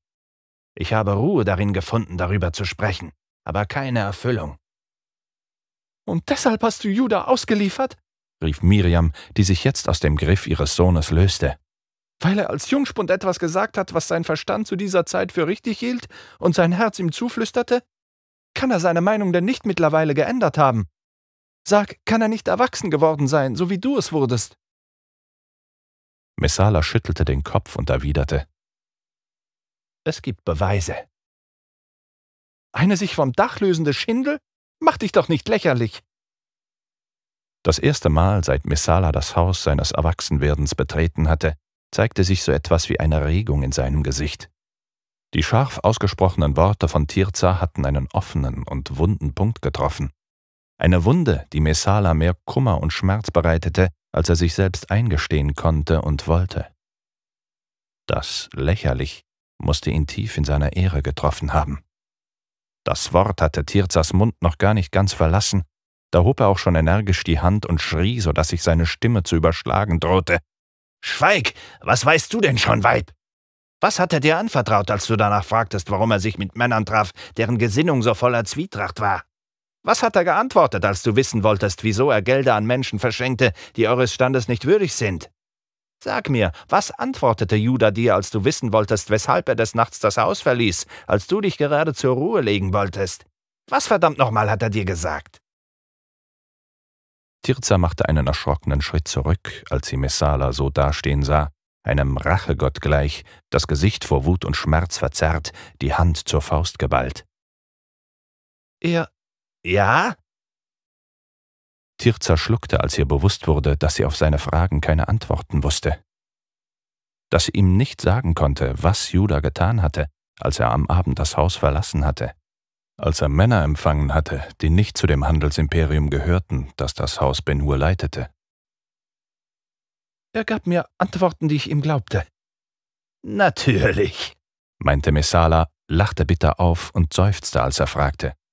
Was hättest du denn statt meiner getan, Schwesterherz? Was würdest du denken, wenn du als Jüdin unter Römern leben würdest und diese unentwegt darüber reden würden, wie schlecht alle Juden sind? Die sagen würden, dass Juden das Land verlassen sollen. Sag mir, wie würdest du dich dann fühlen, Tirza? Wärst du nicht auch dazu geneigt, zu denen zu gehen, die deines Blutes sind? Würdest du dich nicht irgendwann mit eigenen Augen davon überzeugen wollen, ob wirklich alles schlecht ist, was dein Volk anrichtet? Ich Würdest du? Ja, bestätigte Tirza und hätte sich dafür am liebsten sofort selbst geohrfeigt. Sie wollte Judah nicht in den Rücken fallen, sie wollte nicht, dass ihre Mutter noch mehr Kummer erleben musste, dass diese hört, wie ihre Tochter Verständnis für das Handeln des Mannes aufzubringen begann, der ihre Familie an den Rand einer Katastrophe gebracht hatte. Also würdest du auch gehen und dem Land dienen, in dem du geboren wurdest. Du würdest sehen, was der Geist deines Volkes in die Welt trägt, und du wärst bestimmt ebenso verärgert darüber, dass die, unter deren Schutz du standest, in dir nicht mehr sahen als einen Hund, der es gewagt hatte, gegen ihre Häuserwand zu pinkeln. Messala machte eine alles umschließende Handbewegung und schnaufte mehr, als dass er sprach. Ich sehe genau, was Rom Gutes tut. Ich sehe, wie es den Völkern unter den Schwingen des Adlers geht, und keiner von euch scheint zu verstehen, wo ihr stehen würdet, wenn es kein Rom gäbe. Wir hätten unseren Jungen noch, spie Miriam aus und hob drohend die Faust. Und sei dir gewiss, du Sohn eines Bastards, jeder Adler stürzt irgendwann einmal ab. Der eine eher, der andere später. Niemals entsteht aus Unterdrückung etwas Gutes, nur der Zorn der Unterdrückten wächst. Damit sprichst du dein Urteil über dich, das ich eben noch von dir abzuwenden versucht habe, grollte Messala, der sich nun herumdrehte und auf die geschlossene Tür zuging, um sie zu öffnen. Abwenden wolltest du Unheil von uns? fragte Tirza. Was meinst du mit diesen Worten? Das, was ich gesagt habe. Aber jetzt werde ich sie vergessen. Ich werde gehen und euch abführen lassen. Abführen? Wohin? Keiner soll sich mehr an das Haus Ben Hur erinnern. Keiner, murmelte Messala. Und niemals wieder sollt ihr Freundlichkeit aus meinen Worten hören. Als ich sie euch gewähren wollte, überschüttetet ihr mich wie jedes Mal mit Hass und Abneigung. Eine Flucht wird euch nichts mehr nützen. Mit diesen Worten riss er die Tür auf und rief Verhaftet sie! Verhaftet alle, die ihr im Hause Ben Hur antrefft!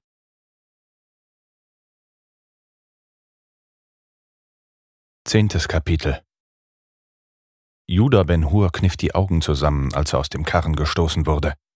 Er hob abwehrend die Hände, als ihm das Sonnenlicht unangenehm stechend in die Augen fuhr, und er hatte das Gefühl, dass die Helligkeit sich bis in sein Gehirn durchfraß. Noch niemals zuvor hatte er sich so gefühlt wie in diesem Augenblick. Es kam ihm so vor, als würde die Sonne selbst ihn angreifen und ihm deutlich machen, wohin seine Wege ihn führten. Geradewegs in die Gefangenschaft. Hatte er bis zu dem Moment, als das Urteil über ihn gesprochen wurde, noch damit gerechnet, dass der Statthalter seine Worte zurücknehmen würde, so waren die Hoffnungen gänzlich zerbrochen, als ihn zwei Wärter morgens aus dem Schlaf gerissen und durch die Gänge des Kerkers geschleift hatten, als sie ihm mit rauen Stimmen befohlen hatten, in den Karren zu klettern und sich still zu verhalten. Würde er es nicht tun, so hatte man ihm gedroht, dass die den Wagen begleitenden Männer ihn aus dem Loch herausziehen würden, in dem er steckte, und ihm hier und jetzt das Leben nehmen würden. Angst im eigentlichen Sinne hatte Judah seltsamerweise nicht. Auch wenn es sich zuerst wie Furcht anfühlte, die durch seinen Körper kroch und jeden Gedanken zur Qual machte und jede Bewegung schwer werden ließ, so begriff er, als er im Dunkeln des Karrens saß, neben und vor sich noch weitere Gefangene, dass es die Befürchtung selbst war, die ihn marterte und quälte. Eine Befürchtung, die sich jetzt offenbar bewahrheitete. Der hoffnungsvolle Glaube, das Warten auf eine Begnadigung, alles war vergebens gewesen. Messala war nicht wieder erschienen. Er hatte seinen Bruder verstoßen. Und so stolperte Judah Ben Hur aus dem Karren, hinein in das gleißende heiße Sonnenlicht und versuchte das leise Wimmern und Stöhnen seiner Mithäftlinge zu verdrängen. Jedes einzelne Wort, das kummervoll hervorgebrachte Weinen, hatte angefangen, an Judas Nerven zu zerren. Er war kein hartherziger Mann, das war er noch nie gewesen. Aber was er hier erlebte und welchen Dingen er hier ausgesetzt gewesen war, hatte ihm die Grausamkeit des Menschen allzu deutlich vor Augen geführt. Es hatte ihm gezeigt, wozu Personen fähig waren, die ihre Macht, egal wie, unbedingt erhalten wollten. Dies nicht ertrugen, wenn jemand eine andere Meinung oder Ansicht hatte, die jeden als Gefahr zu erkennen glaubten, der ihren Worten nicht bedingungslos folgte. Das Einzige, was ihn aufgemuntert oder besser gesagt nicht komplett in den Wahnsinn getrieben hatte, waren die gemurmelten Worte des Mannes gewesen, der neben ihm im Karren gesessen hatte, der mit leiser Stimme gesagt hatte, dass der Erlöser bald kommen würde, dass der Stern über Bethlehem allen gezeigt hatte, dass die Geburt ihres Messias tatsächlich vonstatten gegangen war. Worte, wie Judah einst geglaubt hatte, die keinerlei Kraft besaßen, aber jetzt, wo er gegen die hoch am Himmel stehende Sonne anblinzelte und glaubte, seine Knie würden gleich nachgeben, und der Peitschnieb des Wächters jeden Moment auf ihn wartete, ging Elihu betend seines Weges. Er hatte die Augen geschlossen, seine aneinander geketteten Hände nach außen gedreht und murmelte Dein Reich komme, dein Wille geschehe. Dort hinunter, brüllte einer der Wächter, packte Judah unsanft an der Schulter und schubste ihn den staubigen Sandweg entlang, der sich einer Schlange gleich durch das felsige Land seiner Vorfahren schlängelte. Bisher war ihm Judäa immer als das schönste aller Länder erschienen, als der Ort, an dem man sich wohlfühlen und am besten leben konnte. Aber jetzt, als er den Stoß gegen die Schulter bekam, das Gleichgewicht verlor und in den Staub fiel, kam es ihm so vor, als würde jeder einzelne Jude, der hier lebte, die Last der Unterdrückung auf den Schultern spüren. Steh auf, du Haufen Dreck! fuhr ihn der Wärter an und gab Jude einen Tritt, als dieser sich gerade mühsam versuchte, wieder aufzurichten.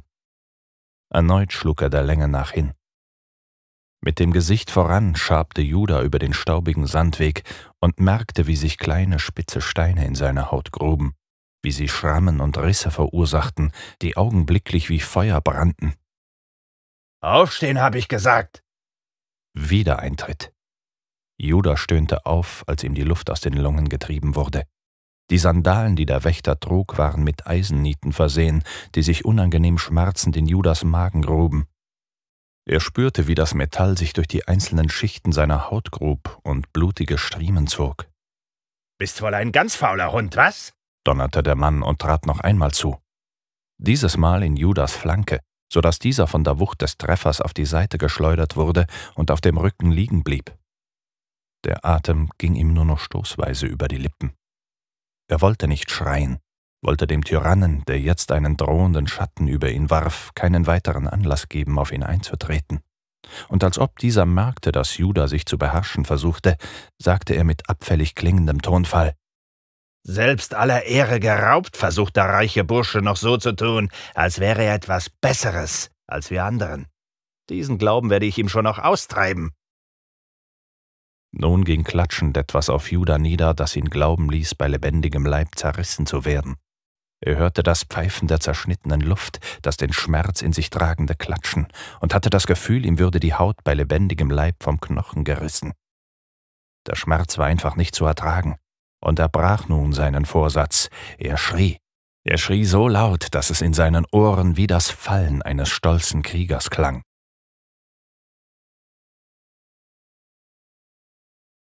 Elftes Kapitel Tirus Niemals zuvor in seinem Leben hatte Judah sich von einem Ort so sehr gefürchtet wie vor der kleinen, in einer Bucht gelegenen Stadt. Es kam ihm so vor, als würden ihm glühende Dornen in den Leib gestochen, wenn er nur daran dachte, in die Hafenstadt gebracht zu werden. Dort, wo die Legionen Roms anlegten, um in das Land Judäa zu gelangen.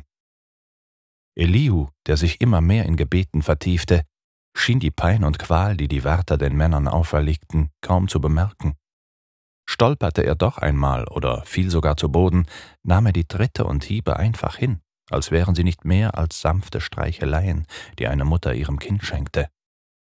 Selbst in dem Moment, als ein Tumult unter den Gefangenen ausbrach, weil einige der Verurteilten sich gegenseitig das Essen stahlen und Elihu unberechtigterweise des Diebstahls beschuldigt wurde und dafür mehrere Peitschenhiebe und Schläge auf die nackten Füße bekam, duldete er die Schmach stoisch. Er humpelte weiter neben Judah her. Sein geschwollenes Gesicht sah aus wie eine Karikatur eines Menschen. Das linke Augenlid war geschwollen und blau angelaufen. Der Tränensack darunter war lila verfärbt und mit einem daumenbreiten Riss gezeichnet. Die Lippen, die am schlimmsten in Mitleidenschaft gezogen worden waren, erinnerten in keinster Weise mehr an einen Mund. Sie waren aufgeplatzt, mit verkrustetem Blut bedeckt und verbargen die Zähne nur noch teilweise. Der Oberkörper und der Rücken von Eliu waren übersät von den ekelhaften Striemen der Peitsche, von denen auch Judah mehrere als Andenken trug. Und trotzdem, Elihu betete ununterbrochen weiter. Aber nicht mehr mit klar verständlicher, deutlicher Stimme. Es war nur noch ein unverständliches, mit viel Mühe zu verstehendes Gebrabbel. Aber dennoch ließ er nicht von seinem Glauben ab und antwortete Judah, kurz bevor sie sich zum Schlafen an den Wegesrand legten, auf dessen Frage, warum er dies alles mit sich machen ließ, mit Weil der Herr im Garten Eden auf mich wartet und mir dort all seine Pracht schenkt, die er mir im Diesseits verwehrte. Ich gebe ihm zu verstehen, dass ich mich nicht vor dem Tod fürchte, sondern mich darauf freue, ihm nach meinem Ableben freudig gegenüberzutreten.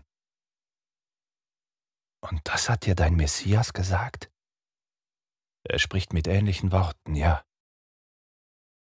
Wenn ich doch nur deinen Glauben hätte, murmelte Judah, nachdem er sich auf die Seite gedreht und die hasserfüllten Stimmen der Wärter gehört hatte, die alle Gefangenen dazu aufforderten, ruhig zu sein. Und auch jetzt, als die Sonne wieder erbarmungslos vom Himmel brannte, Judah der Durst quälte und jeder Schritt ein wahres Martyrium war, betete Eliu neben ihm und schien die peinigenden Stunden gar nicht zu erleben. Ein Ort tauchte plötzlich in der Ferne vor ihnen auf.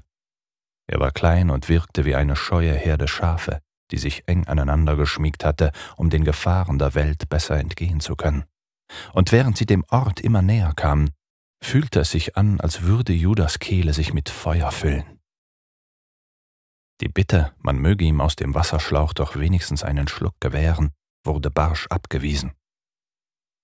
Du hast zum Frühstück etwas gehabt, sagte der Mann, der Judah nach seiner Ankunft im Karren verprügelt hatte. Und nun musst du warten, bis wir eine Rast einlegen. Ihr trinkt doch auch, hauchte Judah und deutete auf einen neben dem Gefangenenzug hergehenden Wächter, der sich gerade an den Gürtel gefasst und den ledernen Schlauch gelöst hatte. Wir sind doch keine Verbrecher. Das bin ich auch nicht. Mir wurde aber etwas ganz anderes gesagt, edler Bursche höhnte der Wächter, dem man ansehen konnte, was für einen Hass er auf Männer hegte, die wie Judah waren. Ein Mann, der niemals den Mut aufgebracht hatte, eine seiner Ideen in die Tat umzusetzen, um sich an ihrer Entfaltung zu erfreuen. Er war einer jener erbärmlichen Geschöpfe, die die Schuld für ihr eigenes Versagen stets den anderen gaben, die immer nur darauf warteten, dass irgendjemandem in ihrer Nähe etwas Schlimmes widerfuhr, damit er sich an dessen Leid ergötzen konnte. Judah der solchen Menschen nur ungerne gegenübertrat, wusste genau, dass er keine Gnade von dem Kerl zu erwarten hatte, dass er niemals das bekommen würde, wonach ihm verlangte, weil eben genau das den unangenehmen Kerl glauben ließ, mehr wert zu sein als Judah. Dieser senkte nun den Kopf, schaute zu Boden und beobachtete, wie er langsam einen Fuß vor den anderen setzte. Vor seinen Augen begannen die ersten schwarzen Kreise ihre Bahn zu ziehen hatte er erst geglaubt, sich zu irren, so begriff er, während er die kratzende Trockenheit in seinem Hals bemerkte, dass sie wirklich angekommen waren, dass sich die schwarzen Schwingen seiner körperlichen Schwäche mehr und mehr über ihm auszubreiten begannen. So wie ich einst den Adler Roms mit dem Adler des Hauses Ben Hur verglichen habe, so vergleiche ich jetzt meinen beginnenden Untergang mit dem Aufstieg des Imperiums. Auf meinen Schultern hat er sich niedergesetzt und erdrückt mich nun mit seiner Last. Der Adler stolz und frei liegt nun in Ketten und wartet auf sein Ende. Es waren quälende, marternde Gedanken, und sie ließen ihn glauben, verrückt zu werden. Wieder stolperte er, und wieder fing er sich nur deshalb, weil er dem neben ihm hergehenden Wächter keine Möglichkeit bieten wollte, auf ihn einzuschlagen. Obwohl, so grausam die Schläge auch gewesen waren, so erniedrigender Schmerz, so hatte die Vorstellung, dass der Kerl ihn schlug und ihn dadurch zu Tode brachte, etwas seltsam Verlockendes an sich. Dann wäre endlich alles vorbei. Hier und jetzt. In diesem Augenblick. Und während die kleine Stadt immer näher kam, erkannte Judah sie schon gar nicht mehr. Alles um ihn herum begann plötzlich zu verschwimmen. Selbst wenn er blinzelte und den dumpfen Druck in seinem Kopf besiegt zu haben glaubte, erkannte er nichts mehr um sich herum. Selbst Elihu war nur noch ein zerfließender Schatten, dessen Silhouette immer mehr zerfaserte. Das leise Murren und Stöhnen der in Ketten gelegten Gefangenen wurde nun zu einem undurchdringlichen Wirrwarr aus Stimmen und Lauten, die Judah immer mehr verwirrten. Er glaubte plötzlich von Dämonen umzingelt zu sein. Sie griffen mit ihren Klauen nach ihm, wollten ihn packen und hinunterziehen in den Schlund der Hölle. Jetzt gab es keine Wächter mehr, keine Gefangenen, nur noch die Qual des Durstes und der Schwäche. Es war ein unbeschreibliches, ein ihn in die Irre führendes Gefühl der Hilflosigkeit, das ihn mehr und mehr in Beschlag nahm. Irgendjemand sprach ihn plötzlich an, aber Judah reagierte nicht darauf. Das Gefühl, von Geistern heimgesucht zu werden, die gierig mit ihren Händen nach ihm griffen, verfestigte sich so sehr, dass er förmlich spürte, wie sein Verstand aus den Fugen zu geraten drohte. Er hörte plötzlich Stimmen, die leise wispernd zu ihm sprachen. Stimmen, die ihm zuflüsterten, dass jetzt alles vorbei sei und er sich nur fallen zu lassen bräuchte. Dass sie ihn auffangen würden, wenn er nur wollte, und dass sie ihn hinüber auf die andere Seite geleiten würden. Obwohl Judah zuerst nicht wollte, spürte er, dass er langsam nachzugeben begann, dass der Gedanke ebenso tröstlich war wie der, den er vorhin gehabt hatte, als er sich gewünscht hatte, totgeschlagen zu werden. Nur mit dem Unterschied, dass er hier keinen Schmerz zu ertragen hatte, dass er hier verführt wurde, das Leben einfach hinter sich zu lassen, um es an anderer Stelle fortzuführen. Trink, hörte er plötzlich eine weiche melodische Stimme an sein Ohr dringen eine Stimme, wie er sie noch nie zuvor gehört hatte. Und doch besaß diese Stimme etwas, dem Judah sich nicht entziehen konnte. Hatte er eben noch gedacht, dass die sich umeinander drehenden und sich ineinander verschlingenden Gespenster langsam aber sicher die Gestalt seines verstorbenen Vaters annahmen, verflüchtigte sich dieser Eindruck nun wieder. Die eben noch gespürte Todessehnsucht begann langsam in ihm zu erlöschen. Da war keine Hoffnung mehr auf Linderung im Jenseits. Auch wenn er gerne zu seinem Vater gegangen wäre, um ihn zu begrüßen und ihn wieder in den Arm zu schließen, so kam es ihm vor, als besäße die Stimme, die jetzt an seine Ohren drang und ihn wieder aufforderte. Trink. Eine Macht, der er sich einfach nicht entziehen konnte. Bisher war ihm dies nur bei einem einzigen Menschen geschehen. Bei Esther. Sie war es gewesen, die ihm einen letzten Funken Mut gegeben hatte, die Hafenstadt Tirus zu erreichen. Denn dort, so seine lächerlichen Gedanken, würde er bestimmt auf einen mildtätigen Galeerenführer stoßen, der sich seine Geschichte anhören und das vom Statthalter gesprochene Urteil aussetzen würde. Lächerlich, das wusste Judah schon in dem Moment, als er versuchte, sich mit diesem Gedanken anzufreunden und Hoffnung daraus zu schöpfen. Genau so war die Hoffnung mit Esther, und auch die Stimme, die von einer sanften Hand begleitet wurde, die sich unter seinen Kopf geschoben hatte. Mit sanftem Druck wurde Judah dazu verleitet, ein Rinnsal Wasser zu trinken. Während ihm das kühle Nass über Lippen und Wangen lief, spürte er, wie die Lebensgeister wieder zu ihm zurückkehrten. Er merkte, dass der in seinem Kopf vorherrschende Schwindel sich zurückzog und die schwarzen Schwingen der Verwirrung sich mehr und mehr lichteten aber noch immer war da die unangenehme, auf ihn niederbrennende Hitze. Noch immer der unangenehm zwischen den Zähnen knirschende Staub. Aber je länger er dalag und ihm das Wasser über die Lippen geträufelt wurde, desto mehr begriff er, dass ihm gerade geholfen wurde. Dass es jemanden gab, der ihm nichts Böses wollte. Jemanden, der daran interessiert war, dass Judah weiterlebte und so öffnete er seine von Schweiß und Dreck verkrusteten Augen und schaute in das markante, bärtige Gesicht eines jungen Mannes, der ihn noch einmal aufforderte. Trink. Judah schluckte. Es war, als würde Honig seine Kehle hinunterlaufen. Schon oft in seinem Leben hatte er sich an Wein und Wasser gütlich getan, hatte seinen Durst gestillt und sich nichts Schöneres vorstellen können, als zu trinken. Aber was er hier zu sich nahm, das warm aus dem Schlauch fließende Wasser, hatte so etwas belebend Ehrliches an sich, dass Judah seine Lippen nur noch weiter öffnete und er schluckte einen weiteren Schwall des warmen Nass. In dem Moment, als das unangenehme Kratzen aus seinem Hals verschwand und die Lebensgeister nicht nur zu ihm zurückkehrten, sondern geradezu in seinen Körper schossen, packte er den ihn aus braunen Augen musternden Mann am Handgelenk und hauchte ihm zu. Bitte geh nicht. Ich werde immer bei dir sein, erwiderte der Mann lächelnd, der Judah gerade eine schweißnasse Haarsträhne aus der Stirn wischte. Eine Berührung von so einer wohltuenden Zärtlichkeit, wie Judah glaubte, sie niemals wieder erleben zu dürfen. Der Geruch nach Jasmin stieg ihm in die Nase und erinnerte ihn wieder an Esther, die genauso gerochen hatte. Judah lächelte, als er an seine Verlobte dachte. Sie war einfach alles für ihn. Alles. Und nur der Gedanke an sie ließ ihn tief einatmen und seinem Vater, der noch immer neben ihm stand, einen Blick zu werfen, der sagte, ich freue mich, dich irgendwann einmal wiederzusehen, aber meine Zeit ist noch nicht gekommen. Verzeih, dass du noch länger auf mich warten musst. Esther. Sie wollte er wiedersehen, sie musste er wiedersehen. Deshalb stemmte er sich mühsam in die Höhe, fasste den noch immer neben ihm knienden Mann an der Hand und bat ihn, Hilf mir bitte aufzustehen. Gerne. Erst jetzt, als er sich in die Höhe stemmte und die in seinen Körper zurückströmende Kraft bemerkte, schaute er den gelockten jungen Mann etwas genauer an. Aber er begriff nicht, was er da sah. Hatte er anfangs geglaubt, einen Mann in seinem Alter gegenüberzustehen, so hatte er jetzt, als er in dessen dunkle, wie Brunnen wirkende Augen schaute, das Gefühl, einem Menschen zu begegnen, der von unendlich hohem Alter war. Ein Lächeln, gütig und freundlich zugleich, das jeden für sich zu gewinnen verstand, lag auf den Lippen des Mannes, der Judas Blicke ohne großes Unwohlsein über sich ergehen ließ. Beinahe so, als wäre er es gewohnt, dass die Menschen ihn anschauten und versuchten in ihm zu lesen.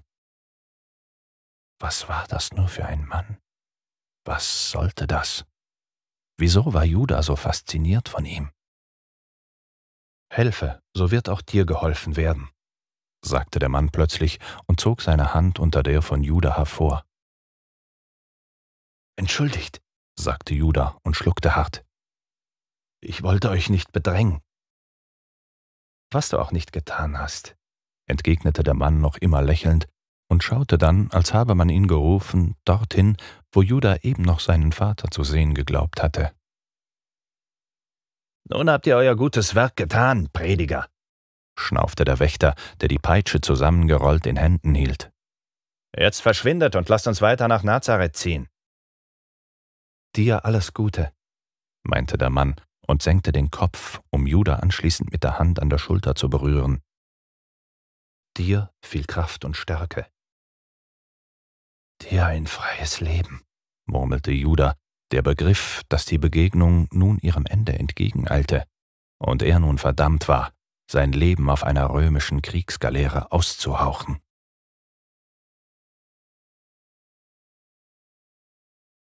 Zwölftes Kapitel Vater, stieß Esther erschrocken aus, als sie in das abgedunkelte Zimmer kam, in der die Liegestatt, auf der ihr Vater lag, den ganzen Platz einnahm.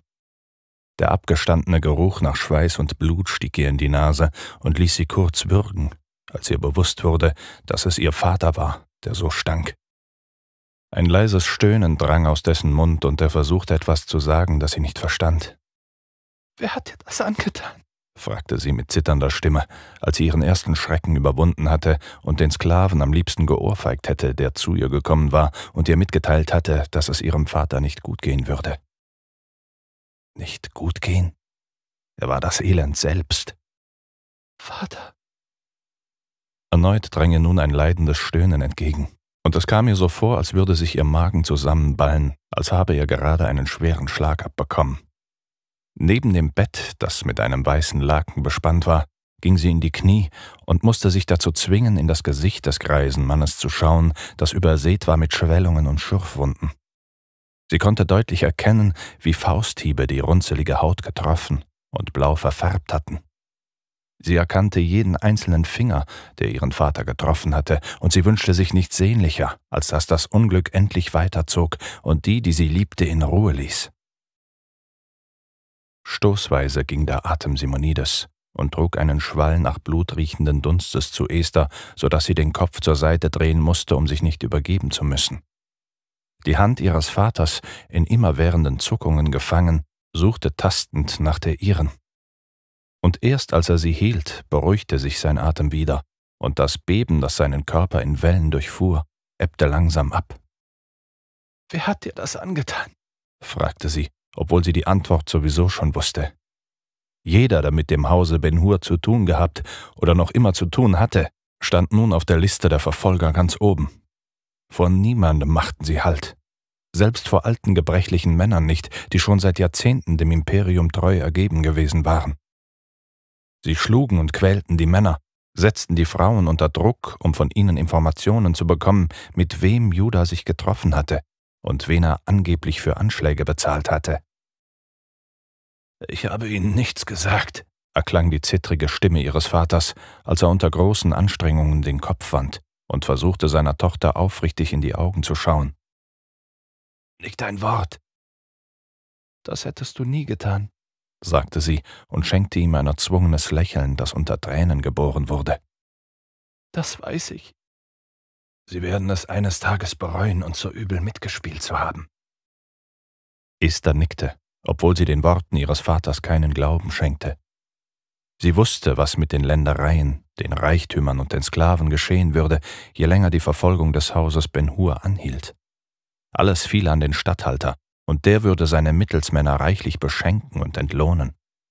Und die, die einst dem Haus Ben Hur angehört hatten, blieben wo? Das fragte sie ihren Vater, der, als er die Frage hörte, wieder am ganzen Leib zu zittern begann. Er umschloss Esthers Hand fester, obwohl es ihm bestimmt Qualen bereiten musste. Sie spürte, dass seine Finger gequetscht oder gebrochen worden waren und dass man ihm die Fingernägel mit glühenden Zangen herausgerissen hatte. Und doch drückte er ihre Hand so fest, dass sie verwundert über seine Stärke war. Das Dorf, flüsterte er. Außerhalb von Jerusalem. Nein, entfuhr es ihr, die Hand zum Mund gehoben, das Entsetzen in den Augen. Doch, antwortete Simonides hustend und nickte dabei, um anschließend vor Schmerz das Gesicht zu verziehen. Das bedeutet ihren Tod.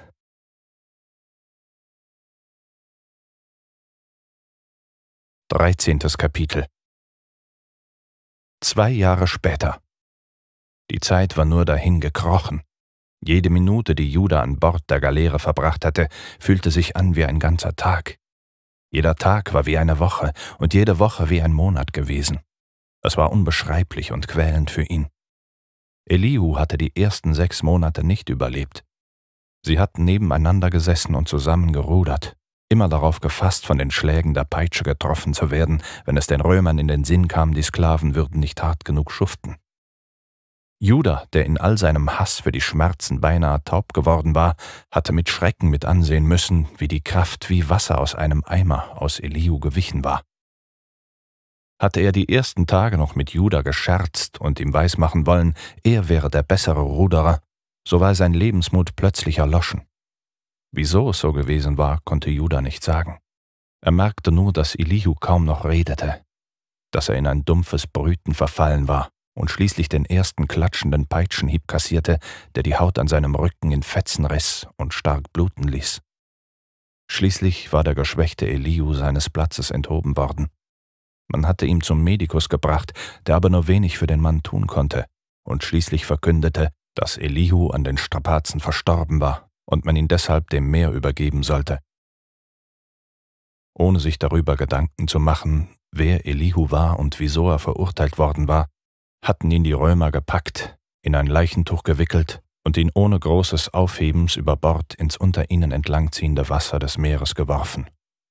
Klatschend war der Leib des Toten auf die Wellen geschlagen und hatte nur noch eine Weile auf ihnen getrieben, einer makaberen Erinnerung gleich, die einem nicht mehr aus dem Kopf weichen wollte. So wie Judah. Er hatte an der Reling gestanden und dem Leichnam trauernd und eifersüchtig zugleich hinterhergeschaut. trauernd, weil Eliu der Einzige gewesen war, mit dem er hatte sprechen können, und eifersüchtig, weil er ebenfalls alles hinter sich haben wollte. All die Erniedrigungen, die Tritte und Schläge, die beleidigenden Worte und das Wissen, dass er niemals wieder seine Schwester in den Arm nehmen und mit ihr lachen können würde. Dass es ihm nicht vergönnt wäre, noch einmal die Stimme seiner Mutter zu hören und sie mit mildem Spott aufzuziehen, wenn er guter Laune war. Esther, das war die schlimmste aller Qualen. Ihr würde er niemals mehr in die grauen Augen schauen können, nicht mehr an ihrem Haar riechen und ihre weiche, zarte Haut spüren können, wenn er mit seinen Fingerkuppen über ihre Schultern streichelte. Alles hätte er dafür gegeben, wieder nach Jerusalem zurückkehren zu dürfen. Nur einen Tag wieder bei denen zu sein, die er liebte und denen sein Herz gehörte. Ein Tag und er würde sich auf ewig der Sklaverei verschreiben. Nur noch einmal mit Esther zusammen über die Prachtstraße schlendern hinauf zu den Ruinen des Tempels des Salomon zu gehen oder Golgatha zu besichtigen, die Schädelsteppe. Judah, der an der Reling stand und hinunterstarrte in das Hafenbecken und den weich an die Kaimauer schlagenden Wellen dabei zusah, wie sie schäumend an dem Gestein zerbrachen, meinte sich im ersten Moment getäuscht zu haben. Aber da war etwas gewesen, das er nicht richtig einzuschätzen verstand ein kurzes Flimmern in seinem Bewusstsein, das ihn mit aller Macht zurück in die Wirklichkeit holte. Das Rufen und das Schreien der im Hafen arbeitenden Männer war für Judah ebenso verstummt wie das Knarren und Knirschen der schweren Taue und Windenvorrichtungen, mit denen die Waren auf die schmalbäuchigen Schiffe verladen wurden. Aber gerade in dem Moment, als er meinte, nur noch Esther vor seinem geistigen Auge zu sehen, hatte er in der sich wie ein Ameisenhaufen bewegenden Menschenmasse etwas beobachtet. Es richtete sich auf. Der neben ihm stehende Rudersklave, der angekettet war, weil er zur Flucht neigte, kaute gerade auf der Rinde eines alten Brotes herum und schaute neugierig auf, als Judah sich anspannte. Was hast du, 41? wollte er wissen, und die Ketten, an denen er gebunden war, rasselten leise. Hafenarbeiter dürfen keine Messer tragen, murmelte Judah und versuchte zu verstehen, was er da gerade gesehen hatte, und versuchte gleichzeitig die Zahl zu verdrängen, mit der er benannt worden war, als er anfing, seinen Dienst auf der Galeere zu verrichten. Nur die, die Tampen lösen, und die arbeiten bei den Windenseilen. Judah nickte und erkannte, dass Konsul Quintus Arius, der Kommandant der Galeere, gerade von seinen Männern begleitet, zurück zur Galeere kam. Die Soldaten, die zu seinem Schutz abgestellt worden waren, waren allesamt stattliche, hochgewachsene Männer, die ihre Aufgabe aber, wie Judah feststellte, nicht gewissenhaft verrichteten. Obwohl sie den hochgewachsenen, blondgelockten Konsul zwar flankierten, war ihre Aufmerksamkeit nicht auf Quintus selbst gerichtet. Warum auch? Sie waren schließlich in einem römischen Hafen, von Römern erbaut, von Römern bewacht, und die, die hier arbeiteten, stammten ebenfalls aus der Metropole am Tiber und waren dem Imperium mehr verbunden als jeder andere Mann. Und doch Irgendetwas stimmte nicht. Die Sonne, die hoch am Himmel stand, trug ihr Übriges dazu bei, dass die Aufmerksamkeit der Soldaten nachgelassen hatte. Sie brannte erbarmungslos vom Himmel auf den Hafen hinab und ließ jedes auch nur im Ansatz entstehende laue Lüftchen sofort im Keim ersticken. Selbst gestern, als sie in den Hafen eingefahren und vom Wind getragen worden waren, hatte es keine Linderung gegeben. Was hast du, 41? Judah ignorierte seinen Leidensgenossen, mit dem er zwar seit Monaten Dienst verrichtete, aber trotzdem keinerlei Verbindung aufgebaut hatte. Seine Art, über Menschen zu sprechen und billigend ihren Tod in Kauf zu nehmen, hatte Judah von Anfang an abgeschreckt. Nicht, dass er selbst nicht schon mehr als einmal darüber nachgedacht hatte, einem Aufseher den Hals umzudrehen oder sich eine Waffe zu erbeuten, um den hier im Dienst für das Imperium verrichteten Männern damit die Kehle durchzuschneiden. Aber im Laufe der Zeit war etwas in Judah gestorben. Oder besser gesagt, es war dabei zu sterben. Und das Wissen, dass etwas nicht stimmte und sich hier etwas zusammenbraute, ließ ihn weiter mit zusammengekniffenen Augen hinunter zur Anlegestelle schauen. Da war es wieder. Dieses Mal ganz deutlich. Er hatte gesehen, wie einer der in der Masse arbeitenden Männer einen Dolch gezogen hatte und wie er sich an seinen Kollegen und Mitarbeitern vorbeizwängte, dem Konsul entgegen. Judah hätte natürlich dabei zusehen können, wie der Mann den Anführer der Galeere umbrachte. wie er ihm den Dolch in den Hals stach und ihm dabei zusehen konnte, wie Quintus langsam, von dem Schrecken ganz bleich geworden, in sich zusammensackte und sein Leben aushauchte.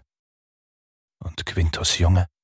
fragte Judah sich, als er sich anspannte und das Bein hob, um über die Reling hinweg auf die Kaimauer zu springen. Soll er etwa ohne Vater aufwachsen? Soll er den gleichen Schmerz erfahren müssen wie ich, als ich meinen Vater verlor? Soll er auch später voller Sehnsucht zu ihm zurückblicken müssen? Nein, auch wenn ich die Römer verabscheue. In jeder Generation kann es jemanden geben, der die Dinge wendet und der versteht, was es bedeutet, Menschen in Freiheit, anstatt in Gefangenschaft leben zu lassen. Dieser idealistische und für einen seit zwei Jahren Gefangenen ungewöhnliche Gedanke verwirrte Judah selbst am meisten. Aber in dem Moment, als er sah, wie der Mann sich immer schneller zu bewegen begann und den Dolch fester umfasste, konnte Judah einfach nicht über seinen Schatten springen. Er konnte einen Menschen nicht sterben lassen, nur weil sie unterschiedlicher Meinung waren. Er wollte nicht derjenige sein, der Quintus Sohn irgendwann einmal gegenüberstand und ihm erklären müssen, dass er den Attentäter schon lange vor dessen Anschlag gesehen und nichts unternommen hatte. 41, schrie der gefesselte Sklave nun und schaffte mit seinem Ruf das, was Judah eigentlich mit seinem Sprung hatte erreichen wollen. Die Aufmerksamkeit auf sich ziehen. Flucht!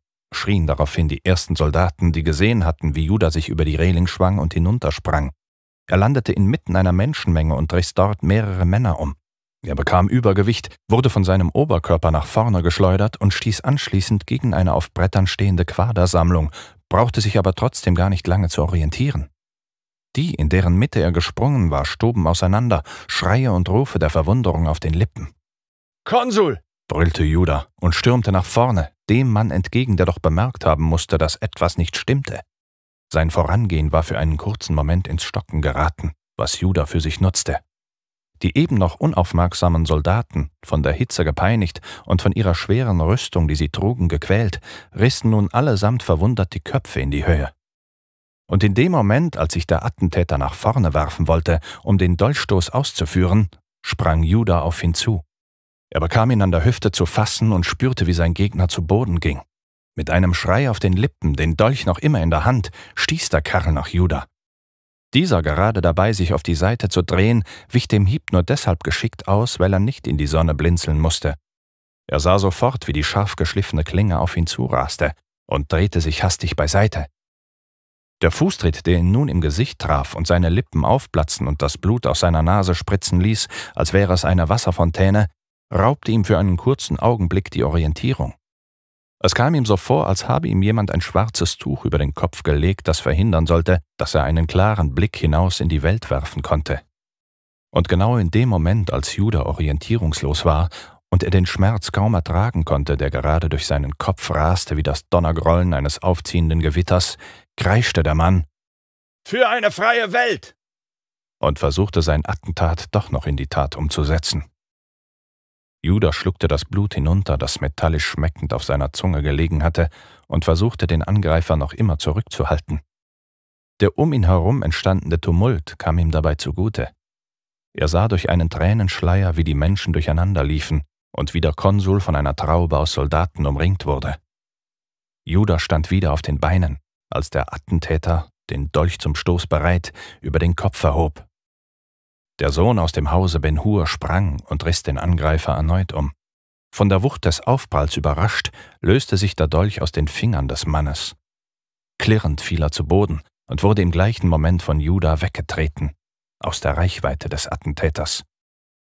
Dieser wehrte sich nach Leibeskräften und kam nur deshalb frei, weil sich plötzlich Speerspitzen auf Judah richteten und eine kräftige, einem Peitschenknall gleiche Stimme rief: Nur eine Bewegung und wir spießen dich auf!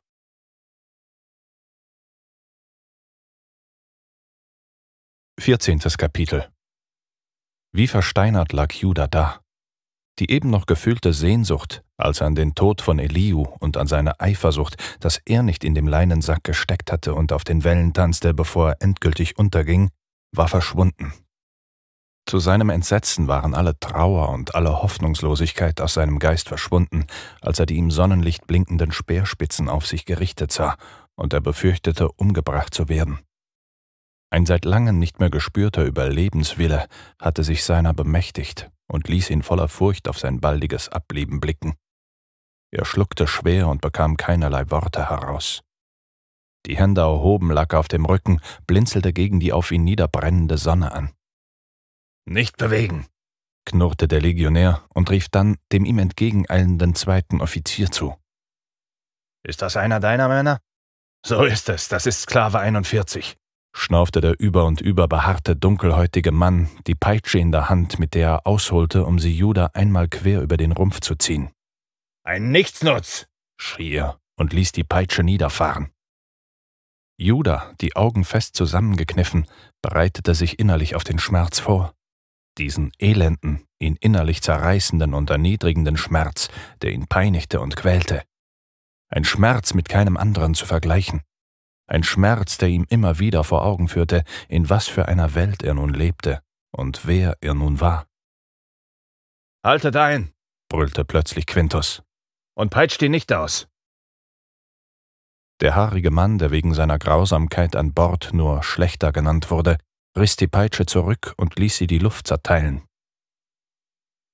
Mein Konsul? fragte der Hühne, der mehr als einen Kopf größer als Quintus war, ohne aber an dessen Würde heranzugelangen. Helft 41 auf, befahl der Konsul, ohne auf den Tumult zu achten, der hinter ihm ausgebrochen war, nachdem sich seine Leibgarde um den Attentäter kümmerte, der sich gerade mit allen ihm zur Verfügung stehenden Kräften wehrte. Murrend kam der Schlechter der Aufforderung des Römers nach, und die, die eben noch ihre Speerspitzen auf Juda gerichtet hatten, zogen nun ihre Lanzen zurück und bewegten sich in einer in Fleisch und Blut übergegangenen Geschmeidigkeit im Gleichschritt zurück. Sie stießen noch einen kurzen Ruf aus, der wie ein Hey oder ein Ha klang, und standen dann wieder in Reihe und Glied. Judah, von den schwieligen Händen unsanft gepackt, wurde in die Höhe gerissen und starrte, noch immer blinzelnd, den Konsul an, mitten in das kantig geschnittene Gesicht. Augen von einem eisigen Blau musterten ihn und stachen dadurch noch mehr hervor, weil die Hautfarbe von Quintus Arie so dunkelbraun war, dass man meinen konnte, er stamme aus einem der Völker des tiefsten Afrikas ab. Erkläre er sich, verlangte der Konsul, sich mit einer geschmeidig wirkenden Handbewegung die in die Stirn gefallenen blonden Locken beiseite wischend. Ha? Ein gütiges Lächeln legte sich auf Quintus Lippen. Du hast mir also nichts zu sagen, warum du deinen Platz verlassen und den Hafen in Unruhe gestürzt hast? Es ging um euer Leben, Herr. Das dir gleichgültig sein könnte. Jedes Leben ist es wert, gerettet zu werden, antwortete Judah, senkte den Kopf und seufzte leise, als er wieder an jene denken musste, die er nun schon seit zwei Jahren nicht mehr gesehen hatte. Auch das Schlechteste.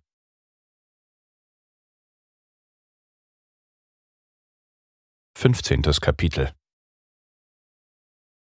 Du bist ein äußerst merkwürdiger Mann, 41, stellte Quintus nachdenklich fest, nachdem er sich auf seinem Stuhl niedergelassen hatte der hinter einem an den Boden genagelten Tisch stand, auf dem mehrere Pergamente und zusammengerollte Folianten lagen.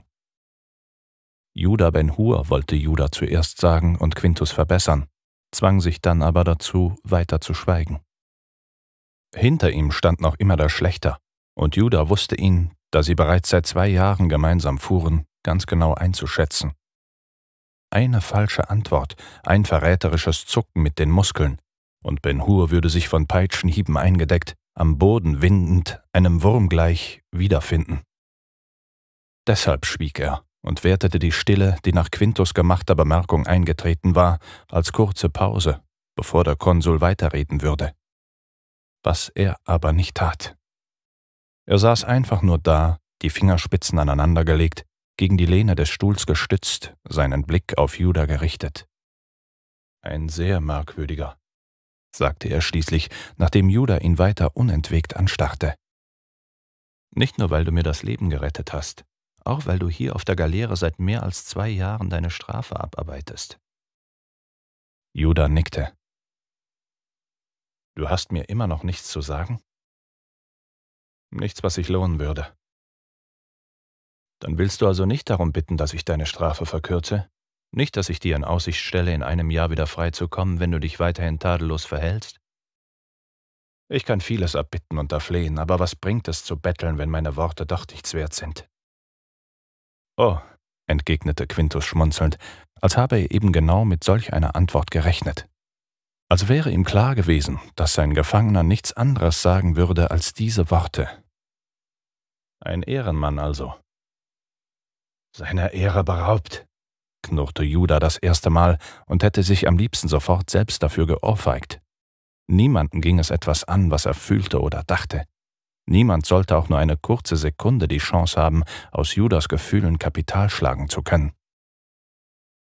Du hast wirklich einen ungezügelten Lebenswillen, 41, sagte der Konsul und lächelte noch immer. Was mich wirklich fasziniert, viele Männer, die wesentlich stärker waren als du, haben nach spätestens einem Jahr ihr Leben ausgehaucht. Aber du weigerst dich einfach, der dir angedachten Strafe zu erliegen. Der Konsul schmunzelte noch immer und schien auf irgendeine Reaktion von Judah zu warten. Dieser aber blieb unbeweglich stehen, mit den Gedanken weit weg in Judäa, wo er seine Esther irgendwann wieder anzutreffen hoffte. Du faszinierst mich, deshalb lasse mich wissen, würdest du auch als Gladiator in die Arena gehen? Um dort einen sinnlosen Tod zu sterben? fragte Judah, der genau wusste, dass er kein guter Schwertkämpfer war und einem Mann, der nur halbwegs mit einer Klinge umzugehen verstand, deutlich unterlegen war. Nein. Dann soll mein Dank anders an dich gerichtet sein. Von heute an wirst du keine Ketten mehr tragen. Du wirst zwar weiter ein Sklave der Galeere sein, aber einer, der sich zwei Stunden am Tag erholen darf und der das Essen mit der Mannschaft zusammen zu sich nimmt. Damit soll dich mein Dank für ewig begleiten. Judah, der nicht wusste, ob er nun etwas sagen oder lieber schweigen sollte, schloss die Augen und versuchte sich klar darüber zu werden, was ihm hier gerade widerfuhr. Und als er Quintus noch einmal die Stimme erheben hörte und dieser sagte, Und von nun an soll dein Name auch wieder Ben Hur lauten, kam es ihm so vor, als wäre er endlich wieder ins Leben zurückgekehrt.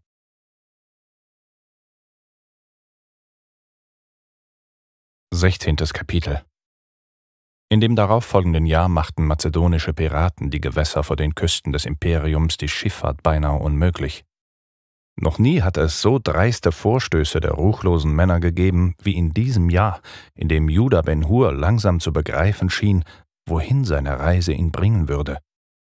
Nicht nur, dass er im Ansehen des Konsuls gestiegen war, durch seine neue Position hatte er innerhalb der Sklaven erheblichen Schaden genommen. Nicht nur, dass er sich plötzlichen Anfeindungen ausgesetzt sah, er musste auch des Nachts Schläge und Tritte ertragen. Er kroch deshalb bis ganz nach vorne an den Bug der Galeere und versuchte dort eine Nische zum Schlafen zu finden, weil die Ketten der Rudersklaven nicht bis dorthin reichten. Aber als er eine Nacht in Ruhe dort verbracht hatte, begann plötzlich die Mannschaft gegen ihn zu intrigieren. Sie hatten es nicht geduldet, dass er, genau wie sie, mitten am Tag eine Pause machen durfte dass er aus ihren Töpfen aß, dass er mit ihnen beinahe gleichgestellt war. Deshalb schnappten sie ihn sich eines Nachts, nachdem sie ihm einen Knebel in den Mund gesteckt hatten, damit seine Schreie nicht über das Deck halten, und fesselten ihn an seinen Platz. Dort saß er dann, schmerzgeplagt und von der Pein eingeholt, und wurde erst am nächsten Morgen von den Sklaven entdeckt, die unsanft geweckt worden waren. Spott und Häme schütteten sie über ihm aus und nannten ihn einen Glückspilz. Nur dann, wenn der Konsul selbst an Deck war, verhielten sich Mannschaft und Sklaven ruhig. Judah, der mehr als einmal mit dem Gedanken gespielt hatte, kopfüber ins Wasser zu springen während einer seiner Ruhepausen, verwarf diese Idee jedes Mal wieder. Der Funke des Lebens hatte angefangen in ihm zu glühen, und er war sich sicher und glaubte unendlich fest daran, dass er eines Tages die Gelegenheit bekommen würde, die Galeere als freier Mann zu verlassen wenn er seinen Dienst nur aufrecht und kameradschaftlich verrichtete. Aber egal, was er versuchte, die Sklaven verachteten ihn zutiefst. Auch wenn er ihnen etwas von seinem reichhaltigen Mahl anbot, um sie zu besänftigen, schlugen sie es aus, obwohl sie schrecklichen Hunger hatten. Schlimmer wurde seine Situation nur noch, als er vom Konsul selbst dazu berufen wurde, ihn nach Rom zu begleiten. Er sollte Quintus Aries nicht nur als Sklave folgen, sondern auch als Unterhalter.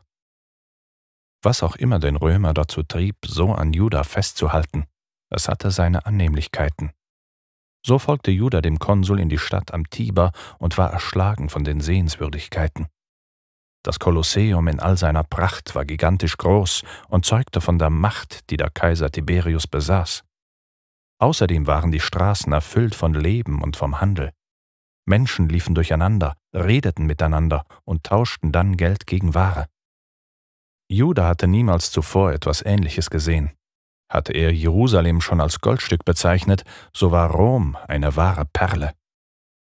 Das ist also der Mann, der unseren Statthalter Valerius Gratus mit einer Schindel erschlagen wollte, sagte der Kaiser, nachdem er Quintus eine Audienz gewährt und ihn darüber in Kenntnis setzte, dass er wollte, dass die Piraten vor den Küsten des Imperiums vertrieben wurden. Sieht mir gar nicht nach einem durchtriebenen Mann aus. Er ist mir treu ergeben, versicherte ihm Quintus. Ich kann nicht über ihn klagen.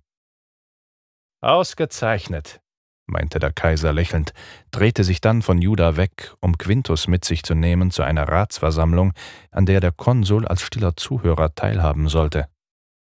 Juda selbst zog sich daraufhin in die Gemächer der Sklaven zurück und wartete dort darauf, dass Quintus zurückkehrte. Dieser kam gut zwei Stunden später und klatschte in die Hände, als er Juda ausgestreckt auf dem Bett liegend vorfand. Auf, auf, rief er. Wir haben Wichtiges zu erledigen und kaum Zeit, es zu tun. Herr? Kennst du dich mit Piraten aus, Juda? Ben Hur schüttelte den Kopf. Nein, Herr. Dann lernst du sie jetzt kennen.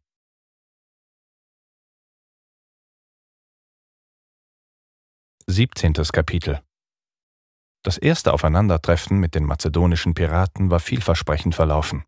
Man hatte ihnen aufgelauert, sie verfolgt und dann in einer schnellen Schlacht geschlagen. Quintus, der dabei die Befehlsgewalt über mehrere Schiffe gehabt hatte, war umsichtig gewesen und voller Tatendrang. Judah, der von Kriegsführung nichts verstand, merkte, wie er langsam aber sicher anfing, zu dem Konsul aufzublicken, und ihm wurde bewusst, dass er von diesem lernen konnte. Nicht wie man das Kriegshandwerk ausübte, sondern eher wie man mit geschlagenen Gegnern umzugehen hatte. Judah, in dem noch immer der glühende Hass gegenüber Messala brodelte, begriff nun, dass ein schneller Tod viel weniger wert war als die Gnade, die man einem Mann erweisen konnte. Wobei Gnade mit einer langsam kriechenden Schlange zu vergleichen war, deren Gift nur zögerlich anfing zu wirken. So hatte Quintus einen Piratenkapitän nicht wie üblich in Ketten legen lassen, sondern ihm Hoffnungen gemacht, dass sich alles zum Guten wenden würde. Dass ihm und seinen Mannen, unter denen sich auch sein Sohn befand, nichts geschehen würde. Er hatte dem Piraten zugehört und sich dessen Leid angehört. Zugehört, wie dieser klagte, und ihm daraufhin versprochen, dass er etwas gegen die Unterdrückung der anderen Piratenkapitäne unternehmen würde, wenn er ihm nur treu zur Seite stehen und ihm sagen würde, was noch alles geplant worden war. Die einzige Bedingung, die Quintus stellte, war, dass der Sohn des Kapitäns in der Obhut des Konsuls blieb und so etwas wie ein Faustpfand wurde, den er gnadenlos einzulösen gedachte, falls der Kapitän ein falsches Spiel mit ihm treiben würde. Der Pirat hatte, sein Glück kaum fassend, angefangen Geschichten zu erzählen. Wortreich und in der kehlig lauten Sprache der Mazedonier, die Juda bis heute so fremd und wenig wohlklingend im Gedächtnis geblieben war. Was er bei den Verhandlungen begriff, war, dass man seinen Gegner kennen und studieren sollte, bevor man ihm den Dolch an die Kehle setzte. Und so begann das von Quintus in das Ohr des Piratenkapitäns träufelnde Gift langsam seine Wirkung zu entfalten. Es verleitete den Mann dazu, seine Kameraden zu verraten, und Quintus konnte auf diese Weise einen kleinen Stützpunkt nach dem anderen hochnehmen. Erst als sie in der sechsten Woche ihres Feldzuges waren und sich einem erneuten Versteck näherten, änderte sich das Verhalten des Piraten plötzlich. Judah hatte es ebenso wenig bemerkt wie Quintus. Hatte der Pirat sonst immer treu hinter dem Konsul gesegelt, so scherte er nun auf einmal aus der Formation aus, als sie vor der griechischen Küste eine Meerenge passierten. Scharfkantige Felsen ragten auf der einen und seichte Sandbänke auf der anderen Seite des Meeres aus dem Wasser. Und als wäre das Ausscheren des Piratenkapitäns ein verstecktes Zeichen gewesen, hagelten plötzlich Steine und Pfeile auf die kleine Gruppe Schiffe hinab, die Quintus führte. Die Männer, eben noch ruhig an der Reling stehend, den sich ihnen bietenden Ausblick genießend, gerieten nun in Panik oder wurden von den aus den Felsen herabfallenden Gegenständen getroffen. Judah, ebenfalls an Deck, konnte sich nur noch mit einem Hechtsprung in Sicherheit bringen, um nicht von einem Stein erschlagen zu werden, der so groß war wie sein Oberkörper. Krachend und polternd schlug der Stein auf das Deck, zersplitterte dort Planken und Körbe, die wiederum zu kleinen hölzernen Geschossen wurden und Judah auf der bloßen Haut blutige Schrammen zufügten. Während er sich über die Hüfte abrollte, sah er, wie einige seiner Kameraden auf dem Rücken, der Seite oder dem Bauch lagen und sich schwere Wunden hielten. Blut floss aus ihnen hervor, und einige an die Ruderbänke gekettete Männer waren erschlagen oder erstochen worden. Das Schiff, plötzlich manövrierunfähig, hatte Schlagseite bekommen und trieb von dem starken Wellengang der Meerenge unweigerlich auf die Klippen zu.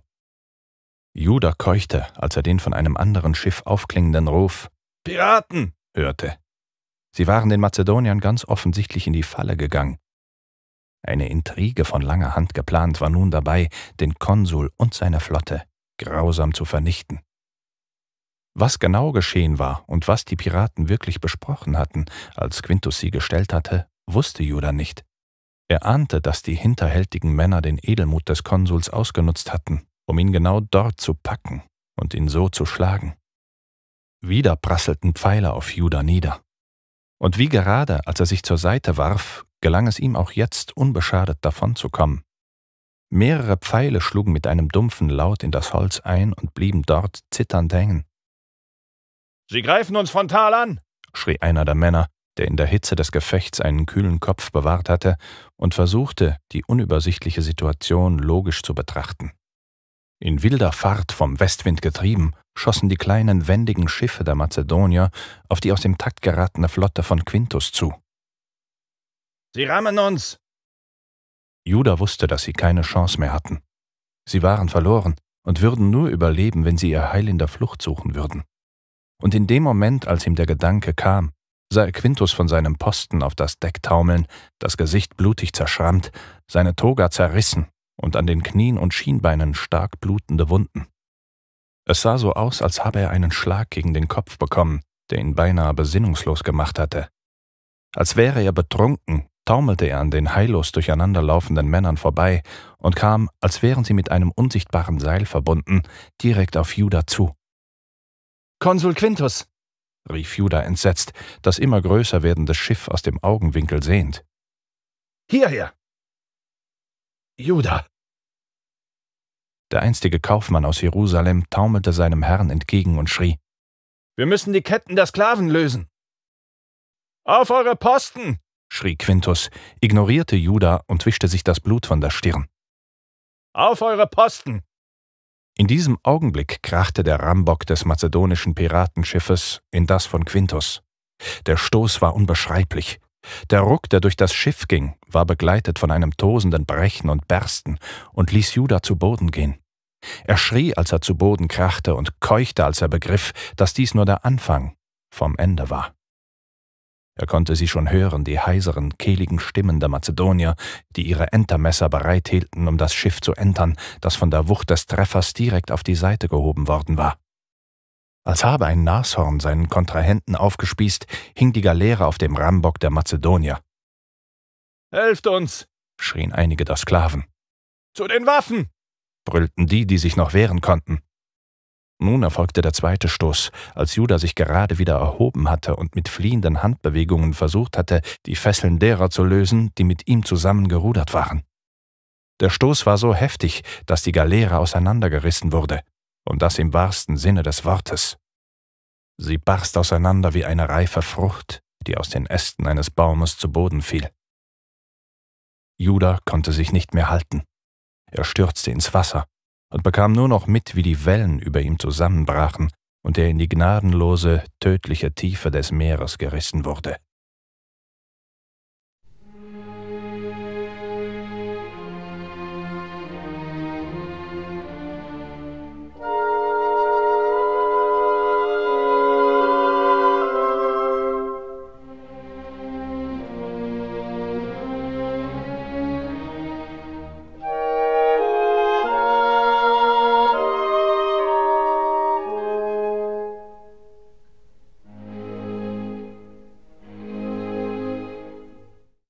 18. Kapitel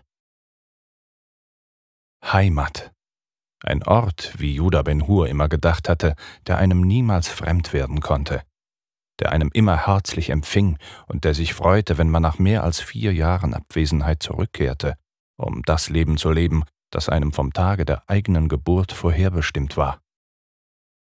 Wie er sich geirrt hatte. An dem Tag, als er von dem Schiff gestiegen war, das ihm aus dem Herzen des Imperiums zurück an die judäische Küste gefahren hatte, war er sich wie ein Fremder vorgekommen.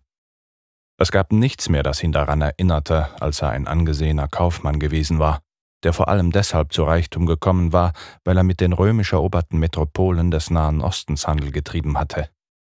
Als er den Fuß auf das Land seiner Väter setzte, kam es ihm so vor, als würden zwei Herzen in seiner Brust schlagen. Zwei Herzen, die unentwegt miteinander kämpften und die sich die ganze Zeit gegenseitig beschuldigten, das andere zu verraten da war sein judäisches, sein jüdisches Herz, das danach trachtete, heimzukehren, um den Römer, der für das ganze Chaos, in dem Juda nun steckte, verantwortlich war, zur Verantwortung zu ziehen. Andererseits spürte er aber auch das andere, das römische Herz in seiner Brust, das angefangen hatte, in ihm zu schlagen, nachdem die mazedonischen Piraten ihm und seinem Herrn Quintus Aries aufgelauert und das Hauptschiff versenkt hatten. Judah, der über die Reling in das tosende und aufgewühlte Wasser gestürzt war und sich sicher gewesen war, dass er hier und jetzt sterben würde, dass er keine Minute mehr atmen, lachen oder sich an etwas erinnern konnte, dass er hinabtauchen würde in einen unausweichlichen Strom aus Schwärze und Vergessen. Alles Leid, so hatte er gedacht, wird jetzt von mir abfallen. Niemand wird sich mehr an mich erinnern. Keiner wird mehr um mich trauern. Die Zeit heilt alle Wunden, heißt es, und irgendwann bin ich selbst für Esther ein Niemand mehr. Ein Nichts. Nicht mehr Judah Ben Hur, sondern nur noch der, der sie einst darum bat, seine Frau zu werden. Doch in dem Moment, als die Wellen über ihm zum sechsten oder siebten Mal zusammenschlugen und er merkte, wie seine Kräfte zu erlahmen drohten, war er das letzte Mal, verzweifelt nach Atem ringend, durch die Wasseroberfläche gestoßen den Mund gierig aufgerissen, die Lungen mit Luft füllend, um dann keine Handbreit von sich die im Wasser treibende Planke zu entdecken. Aus einem Reflex heraus, weil sein Kopf gar nichts mehr wirklich wahrnahm, wegen der durch seinen Verstand rasenden Angst, er würde ertrinken müssen. So hat er Minuten gebraucht, um zu begreifen, wonach seine Hand gegriffen hatte. Was er an sich heranzog und an was er sich wie eine ertrinkende Ratte klammerte. Das erste Mal seit langem drangen ihm andere Geräusche als das rauschende Wasser, das Luftblasen produzierende Strampeln an seine Ohren, das dumpfe Rauschen der Wellen und der verzweifelte Kampf anderer Männer, die ebenfalls von dem zerstörten Schiff ins Meer geschleudert worden waren. Es kam ihm so vor, als würde das erste Mal das Leben in ihn zurückkehren, als würde in ihm ein längst geschlossener Kanal aufgestoßen und ihn wieder leben lassen. Obwohl er am Ende seiner Kräfte gewesen war, hatte er den regungslos im Wasser treibenden Quintus Aries entdeckt, seinen Kommandanten, seinen Konsul, der dafür verantwortlich war, dass Ben Hur nicht wie all die anderen Sklaven an die Ruderbank gekettet gewesen war. Noch nie in seinem Leben hatte Judah so sehr geschrien wie in dem Moment, als er Quintus vor sich auf einem Wellenkamm treibend liegen gesehen hatte ein Mann, hochgewachsen und stolz, in die Tunika eines Römers gekleidet, die blonden Locken vom Wasser durchnässt. Er hatte keine Reaktion gezeigt. Der Konsul hatte im Wasser gelegen wie eine Leiche, die jeden Augenblick unterzugehen drohte. Und gerade als er meinte, dass alles verloren war und Quintus erneut unterging, kamen Kräfte in ihm zum Leben, die Judah bisher gar nicht gekannt hatte. Er stieß sich an die Planke klammernd im Wasser ab schwamm auf den Konsul zu und erreichte ihn, nachdem dieser zum zweiten Mal in kürzester Zeit untergegangen war und Judah sich sicher war, Quintus würde niemals wieder auftauchen. Da bekam er seinen Herrn an der Tunika zu fassen. Mit einer Willensstärke, die ihm niemals abhanden gekommen war, hatte er Quintus zu sich an die Planke gezogen, hatte ihm den Kopf über Wasser gehalten und ihm unentwegt ins Ohr geflüstert. Ihr sterbt hier nicht, nicht jetzt, eure Zeit ist noch nicht gekommen, hier bleibt am Leben. Und das war er tatsächlich. Erschöpft und erst nach gut einem Tag der Ohnmacht wieder zu sich gekommen, hatte Quintus die Augen geöffnet und gefragt, wie es sein konnte, dass er noch lebte. Er war ins Wasser gefallen und mit dem Kopf gegen etwas Hartes geschlagen und hatte dann die Besinnung verloren. Und die Schlacht? hatte er mit einem Schauer in der Stimme geflüstert, nicht wagen zu fragen, wie es ausgegangen ist.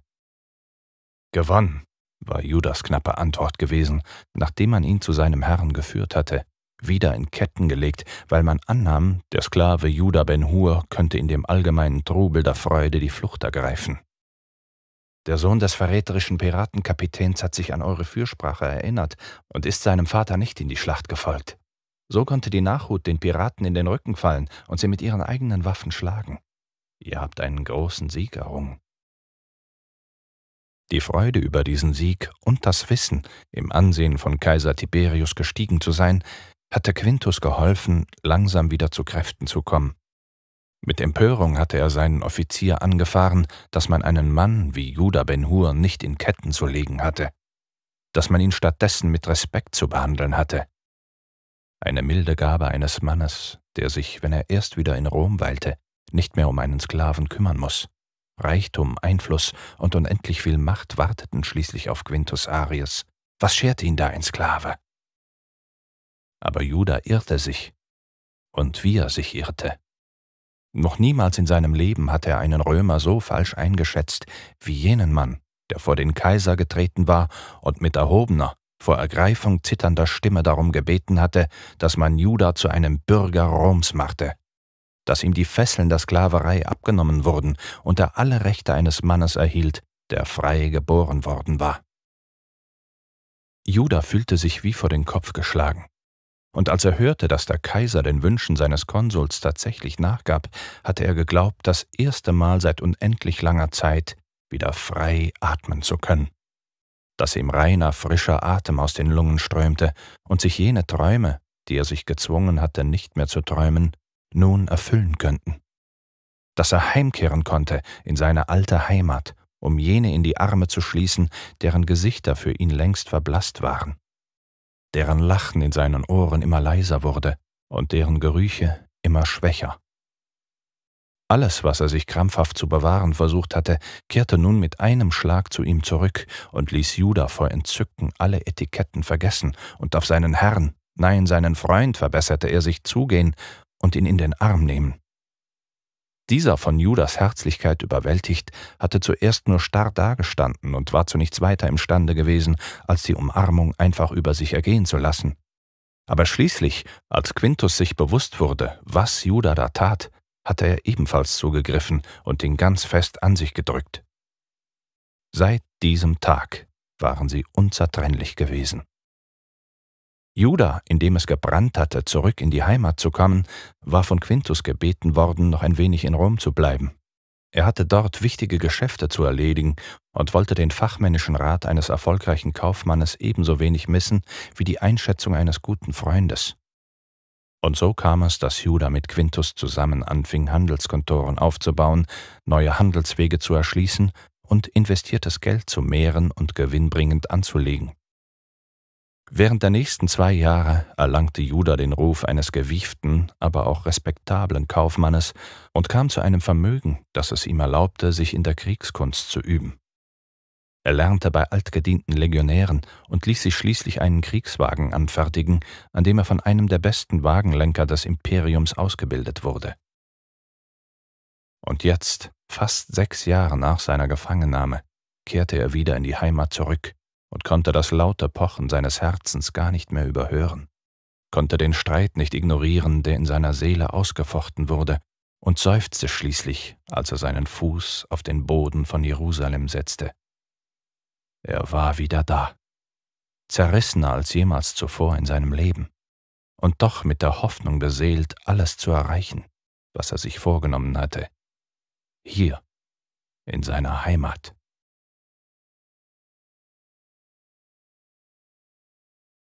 19. Kapitel Esther kam nur noch selten zu jener Prachtstraße Jerusalems, an der die Villa des Hauses Ben Hur stand. Wenn ihre Wege sie doch einmal hierher führten, fühlte sie sich innerlich leer und ausgebrannt. Erinnerungen wühlten durch ihren Verstand, die sie am liebsten beiseite geschoben hätte. Erinnerungen voller Schmerz und Traurigkeit, so dass sie das Gefühl hatte, all ihre zur Verfügung stehenden Kräfte zu verlieren und zusammenbrechen zu müssen. Sie verabscheute deshalb die Tage, wenn sie hierher zurückkehren musste. Sie hasste sie so sehr, dass sie sich auf dem Weg hierher zu überlegen begann, ob sie nicht doch einen anderen Weg nehmen konnte, der sie zu dem Heiler führte, den sie aufsuchen musste. Einem Mann, der einer der wenigen war, die es nicht ablehnten, für Esther sein Können in die Waagschale zu werfen. Der immer darum bemüht war, einmal im Monat sein Wissen anzuwenden, um sie mit heilenden Salben, Kräutern und Tinkturen zu versorgen, damit sie diese weiterreichen konnte. Arm wie Esther nun einmal war, ohne feste Arbeit und ohne einen Mann an ihrer Seite, fiel es ihr noch schwerer, die Güte des Heilers in Anspruch zu nehmen.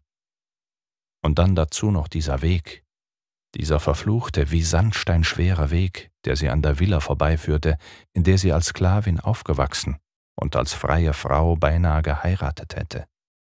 Hier, wo sie miterlebt hatte, wie aus Brüdern Feinde wurden und wie eine angesehene Familie mit einem einzigen Fingerschnipsen zerschlagen worden war. Esther spürte die Magenschmerzen heftiger denn je, als sie aus der kleinen Seitengasse kam, in der mehr Dunkelheit herrschte als Licht, und auf die große im Sonnenschein daliegende Straße einbog und glaubte erschlagen zu werden von der Flut von Menschen. Wie immer, wenn sie den Heiler aufsuchte, war Markttag. Ein Schutz, wie sie vermutete, den sie sich selbst auferlegt hatte, um nicht alleine, nur von einigen Leuten flankiert, an der Villa vorbeigehen zu müssen.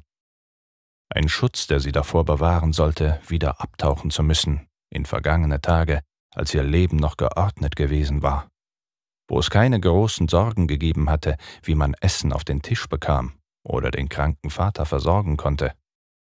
Damals, als alles zusammengebrochen war, hatten Esther und Simonides die ganze Härte Roms zu spüren bekommen. Ihr Vater, dem Hause Ben Hur immer treu ergeben, war von dem Statthalter als Verräter gebrandmarkt und von dessen Tribun Messala verhört und gefoltert worden. Von den Qualen hatte Simonides sich körperlich zwar irgendwann erholt, seelisch jedoch nie. Immer wieder verfiel der alte und grau gewordene Mann in sinnlose Brabeleien, in haltlose Schluchzer und in unkontrollierbare Heulkrämpfe. Es war die Hölle auf Erden. Und dazu kam dann noch die Prachtstraße. Wie immer, wenn sie hierher kam, halten ihr die Schreier der Verkäufer entgegen. Männer ebenso wie Frauen boten ihre Waren an, und mit schrillen Stimmen versuchten sie ihre Konkurrenten zu überbieten. Esther, die mit dem Tumult aus Farben, Geräuschen und Gerüchen aufgewachsen war, fühlte sich nicht mehr wie damals, als sie mit Tirza, Judas Schwester, hierher gekommen war, einen wohligen Schauer des Lebens durch sich fließend, wenn sie die Menschen sah und beobachtete, wie diese Handel trieben. Heute fühlte sie sich klein, verloren und vom Leben in den Dreck gestoßen. Deshalb hielt sie sich mittig auf der Prachtstraße, den Kopf gesenkt, ihren Weidenkorb fest an sich gedrückt, um niemandem den Eindruck zu vermitteln, sie wolle etwas kaufen. Außerdem, und das war das Wichtigste, hielt sie den Blick gesenkt, um nicht hinaufsehen zu müssen, zu jenem Balkon, auf dem sie vor sechs Jahren gestanden hatte, die Aufregung in der Brust und das Zittern in den Knien, weil ihr eine Frage gestellt worden war, die sie niemals im Leben für möglich gehalten hatte.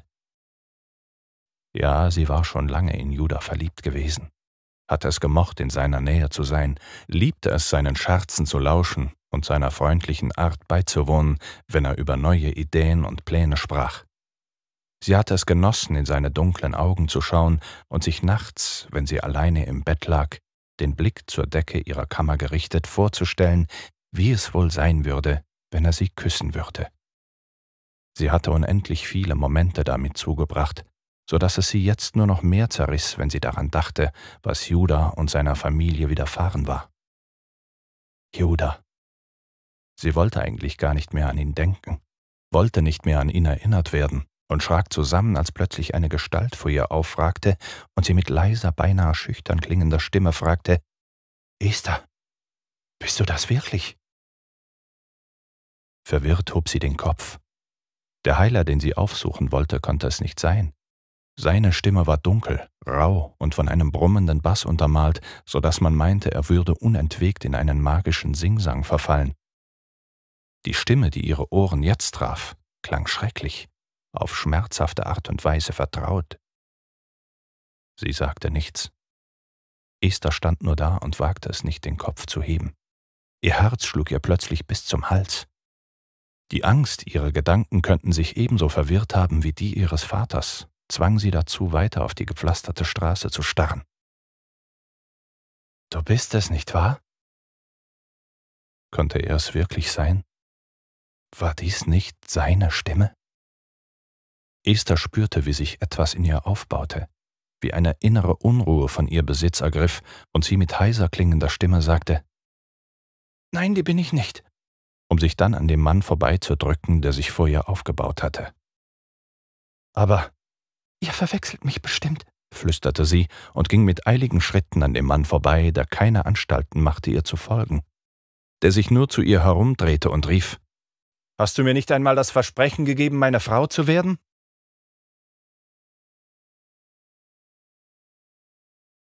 Zwanzigstes Kapitel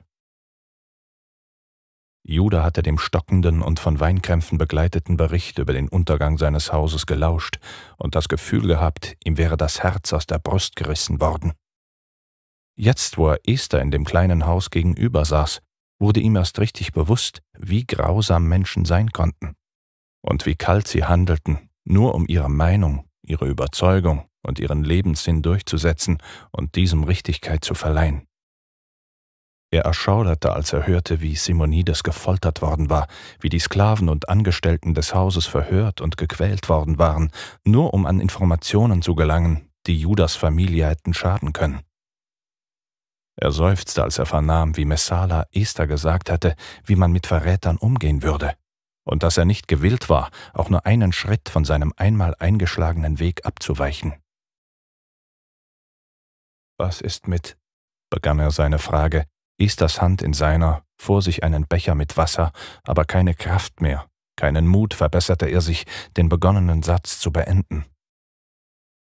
Miriam und Tirza tat Esther ihm den Gefallen, das zu sagen, was er sich nicht zu sagen getraut hatte.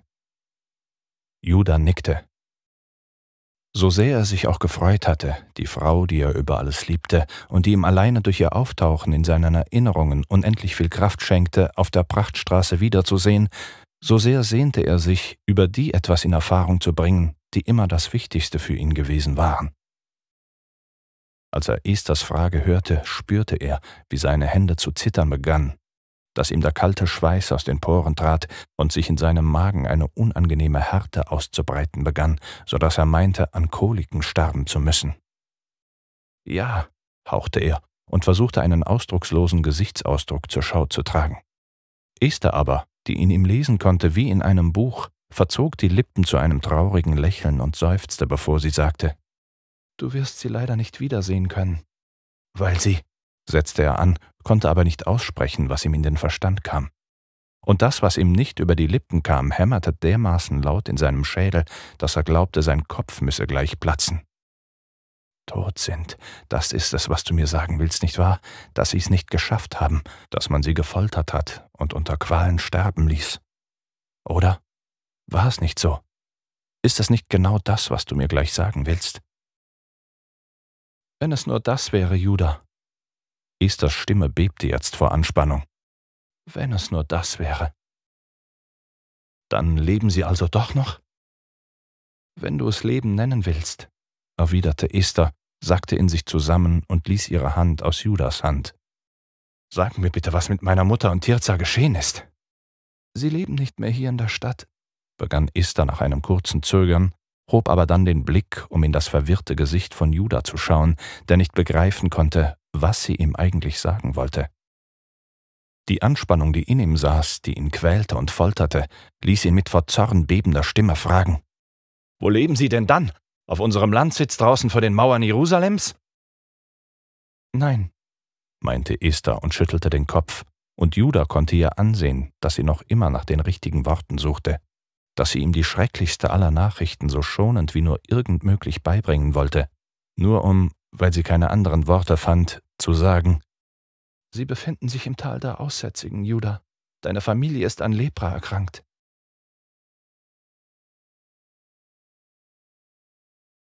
Einundzwanzigstes Kapitel Judah hatte das Gefühl, als wäre ihm der Boden unter den Füßen weggezogen worden. Es kam ihm so vor, als stürze er in ein unendlich tiefes, niemals endendes Loch, das all seine Qualen und all seinen Schmerz, je mehr er fiel, verstärkte und vergrößerte. Esther, die vor ihm gesessen, nach seiner Hand gegriffen und sie gedrückt hatte, war vor seinen Augen ganz verschwommen. Nicht, weil sich diese mit Tränen füllten oder er drohte ohnmächtig zu werden, sondern vor Zorn. Es war glühend heiße Wut, die gerade durch seinen Körper pulsierte und ihn Gedanken hegen ließ, die er selbst in der schlimmsten Zeit auf der Galeere niemals zu denken gewagt hatte. Aber jetzt, als er diese Nachricht aus dem Mund seiner heißgeliebten Frau hörte, brachen Dämme in ihm, die ihn glauben ließen, auf heißen Lavaströmen dahin zu gleiten, zu einem Hass, der mit dem Schwert in der Hand auf ihn wartete und ihm zurief, Bringen wir den Schweinehund zur Strecke, Judah, schlagen wir ihn mit seinen eigenen Waffen, bringen wir ihn um. Judah, flüsterte Esther, deren Konturen noch immer ganz verschwommen waren und deren Stimme wie aus unendlich weiter Ferne an seine Ohren drang. Bitte schau mich an, Judah. Aber das konnte Judah nicht. Er war innerlich wie tot. Ein neuer Statthalter wird nach Jerusalem kommen, murmelte er, seine Gedanken in finstere Pläne verstrickt. Er wird eskortiert werden von dem Tribun Messala. Pontius Pilatus, erwiderte Esther nickend. Davon habe ich gehört, aber denke nur daran, was das letzte Mal geschehen ist, als ein Statthalter in unsere Stadt einzog. Es hat unser Leben von Grund auf verändert. Das wird es wieder, was willst du damit sagen? Dass ich mein Schicksal von nun an in meine eigenen Hände nehmen werde.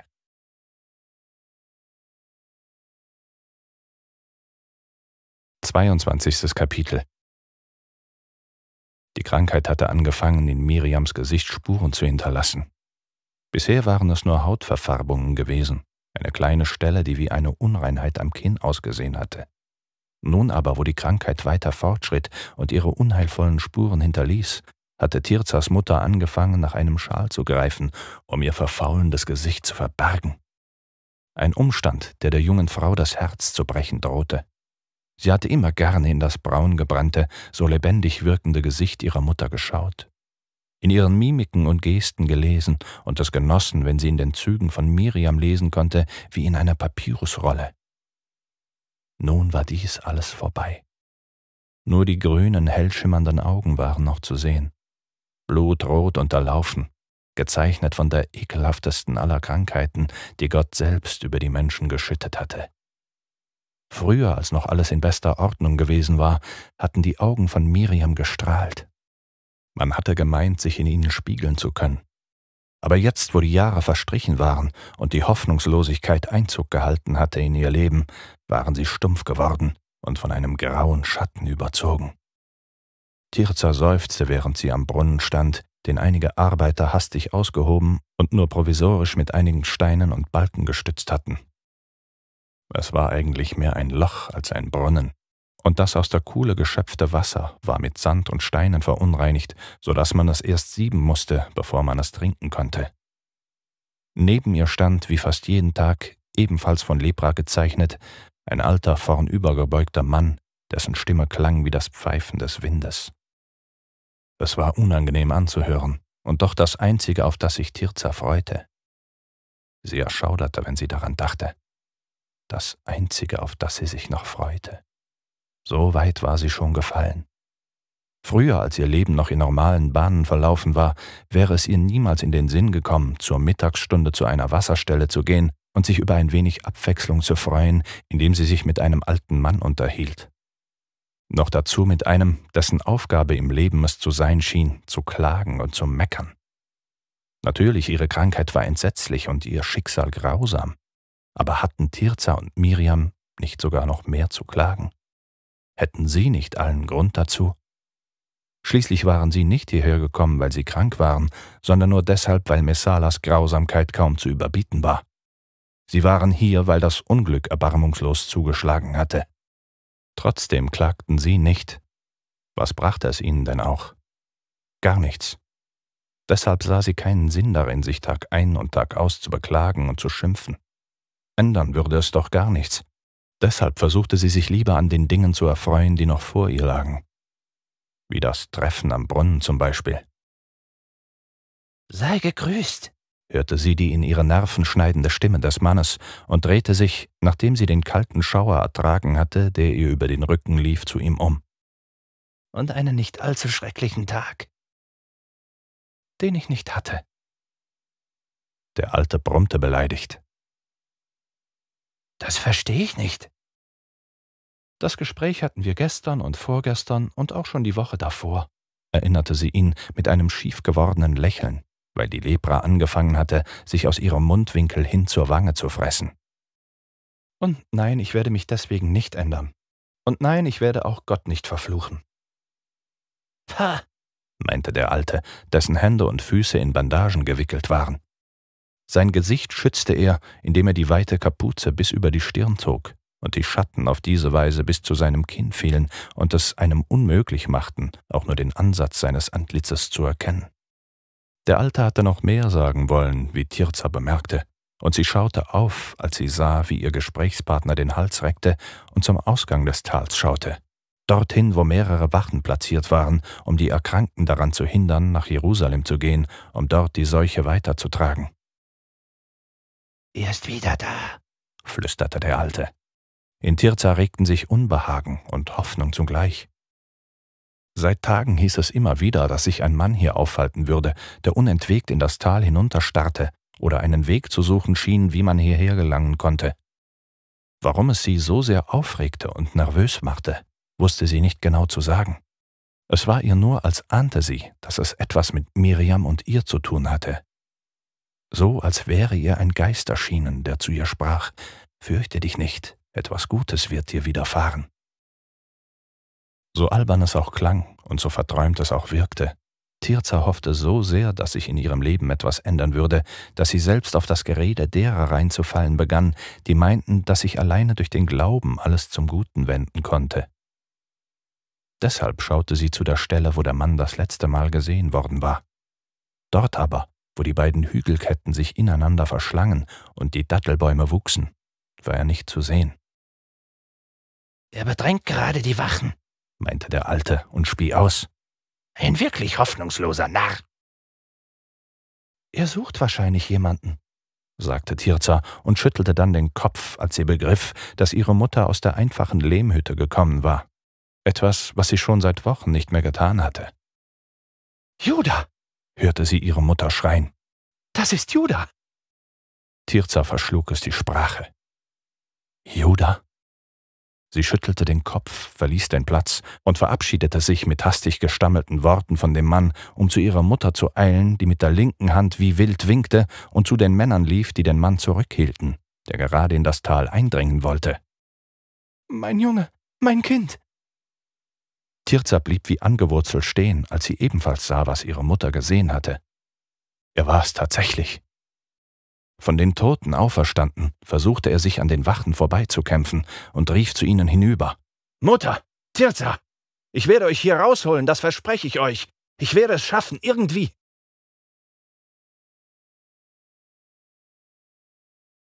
Dreiundzwanzigstes Kapitel Pontius Pilatus, der neue Statthalter Roms, schaute den neben ihm reitenden Messala an, dessen hochgewachsene, breitschultrige Statur so sehr jenem Idealbild eines Römers entsprach, dass es ihm schon beinahe unangenehm war, ihn anzuschauen. Voller Stolz saß der Tribun auf dem weißen Schlachtross, das flankiert war von drei weiteren Rössern, auf denen Legionäre saßen, die Standarten hielten und die Umgebung im Auge behielten, um das aufsässige Volk der Juden ganz genau zu beobachten. Pilatus hatte gehört, dass es seit Jahren in Jerusalem gärte, dass sich Gerüchte ausgebreitet hatten, die anfingen, in die Realität Einzug zu halten. Waren die Erzählungen eines Messias bisher nur Hirngespinste gewesen, so hatten in den letzten sechs Jahren die Träumereien der Juden Gestalt angenommen. Es wurde immer wieder davon berichtet, dass es eine Gruppe von Männern gab, die einem jungen Burschen folgten, der in Gleichnissen sprach. Dass er es ohne Mühe schaffte, Menschen zu einem Berg zu rufen, auf dem er dann über Liebe, die Ehe, den Verrat und die Hoffnung sprach dass er Menschen dazu brachte, wieder an sich zu glauben und ihnen alleine durch sein Auftreten Hoffnung verlieh, alles würde sich wieder zum Besten wenden. Messala, der genau über den Mann sprach, als sie sich den Toren Jerusalems näherten, meinte, Wir haben mehrere Menschen verhört, aber wer der Messias genau ist, konnten wir bisher noch nicht herausfinden. War denn niemand bei der Bergpredigt anwesend? Kein einziger Römer? Nicht einer, nein. Und niemand will uns sagen, wie dieser Mann aussieht, der das Imperium stürzen will? Das ist es ja, entgegnete Messala und seufzte. Er selbst hat diese verräterischen Worte niemals ausgesprochen. Und dennoch fürchtet ihr ihn? Messala, dessen bisher ausdruckslos wirkendes Gesicht im Schatten der Standarte gelegen hatte, leckte sich mit der Zungenspitze über die Lippen. Ein kurzes, kaum wahrnehmbares Zeichen, das Pilatus aber dennoch unmissverständlich verstand. Es zeigte, wie hin und her gerissen der neben ihm reitende Tribun war. Dass er ein fähiger und verlässlicher Soldat Roms war, hatte man dem Statthalter unabhängig voneinander bestätigt. Ebenso, dass er von Ehrgeiz getrieben war und sich am liebsten hier und jetzt dem Gegner gestellt hätte, um ihn zu überwältigen. Aber was ihm in zahlreichen Schlachten gelungen war, war hier in Judäa beinahe unmöglich. Denn die Juden versammelten kein Heer, sie stellten niemanden unter Waffen. Sie warteten einfach nur. Und das war das Schlimmste von allem. Sie warteten darauf, dass ihr Messias endlich heimkehrte in ihre Mitte und ihnen so viel Glauben schenkte, dass sich all ihre Feinde von alleine daran machten, ihr Heil in der Flucht zu suchen. Wo es keinen offenen Feind gab, gab es auch keine offene Schlacht. Pilatus hörte seine eigene Frage noch in den Ohren und war überrascht, als Messala sagte, Ja, das tue ich. Wieso? weil er die Grundordnung stören kann, die das Imperium in Judäa hergestellt hat, sagte er geradeaus und stieß damit etwas in Pilatus an, was dieser bisher nur in sich hatte schlummern gespürt. Genau das war's. Eine stille Unruhe konnte Machthaber verunsichern und zu Handlungen treiben, die eine sowieso schon brenzlige Situation endgültig entflammen könnte. Was habt ihr diesbezüglich vor? In wenigen Wochen ist das Passafest, Herr, entgegnete Messala. Ich erwarte viele Menschen hier in Jerusalem und auch den Mann, den sie alle Jesus Christus nennen. Er soll hierher in die Stadt Salomons kommen? Messala nickte. Ja, vor so vielen Menschen wie hier wird er nie widersprechen können. Für einen Prediger ist das mehr wert als alles Gold auf der Welt.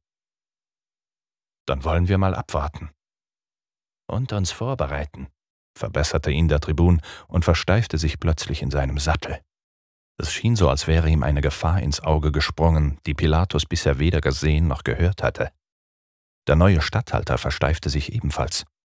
Er suchte mit in Hektik geratenem Blick die Menschenmengen ab, die sich mehr und mehr verdichteten, während er in Jerusalem einritt. Menschen, die ihm nicht alle wohlgesonnen waren, obwohl der heilige Kaiser ihnen hier unten in der abgelegenen Provinz viele Zugeständnisse machte. Zum Beispiel, dass sie ihrem Glauben huldigen und ihre Sprache sprechen durften, wie die Römer die ihre. Niemand hatte deshalb einen Grund, in Pilatus Augen, sich gegen die Besatzung Roms aufzulehnen. Und doch, die Menschen waren ganz offensichtlich unzufrieden. Und jetzt, als Messala plötzlich ganz stocksteif auf dem Rücken seines Pferdes wurde und zu einem Mann starrte, der aus der Masse der Menschen hervorstach, fühlte Pilatus sich, als hielte man ihm eine im Sonnenlicht blitzende Klinge an den Hals. Wer ist der Mann, der euch nicht aus den Augen lässt?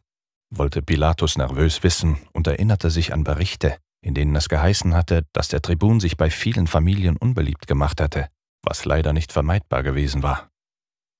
Messala hatte mit harter Hand nach Verschwörern und Aufsässigen gesucht und war nicht davor zurückgeschreckt, auch angesehene Familien an den Pranger zu stellen und sie anschließend zu vernichten. Einen Geist, flüsterte der Tribun, und seine aufgesetzte Fassade begann mehr und mehr zu bröckeln. Pilatus sah, wie der Tribun unter seiner sonnengebräunten Haut blass wurde, dass er am ganzen Körper zu zittern begann und seine heiser ausgesprochenen Worte noch einmal wiederholte. Einen Geist, den ich längst für tot gehalten hatte.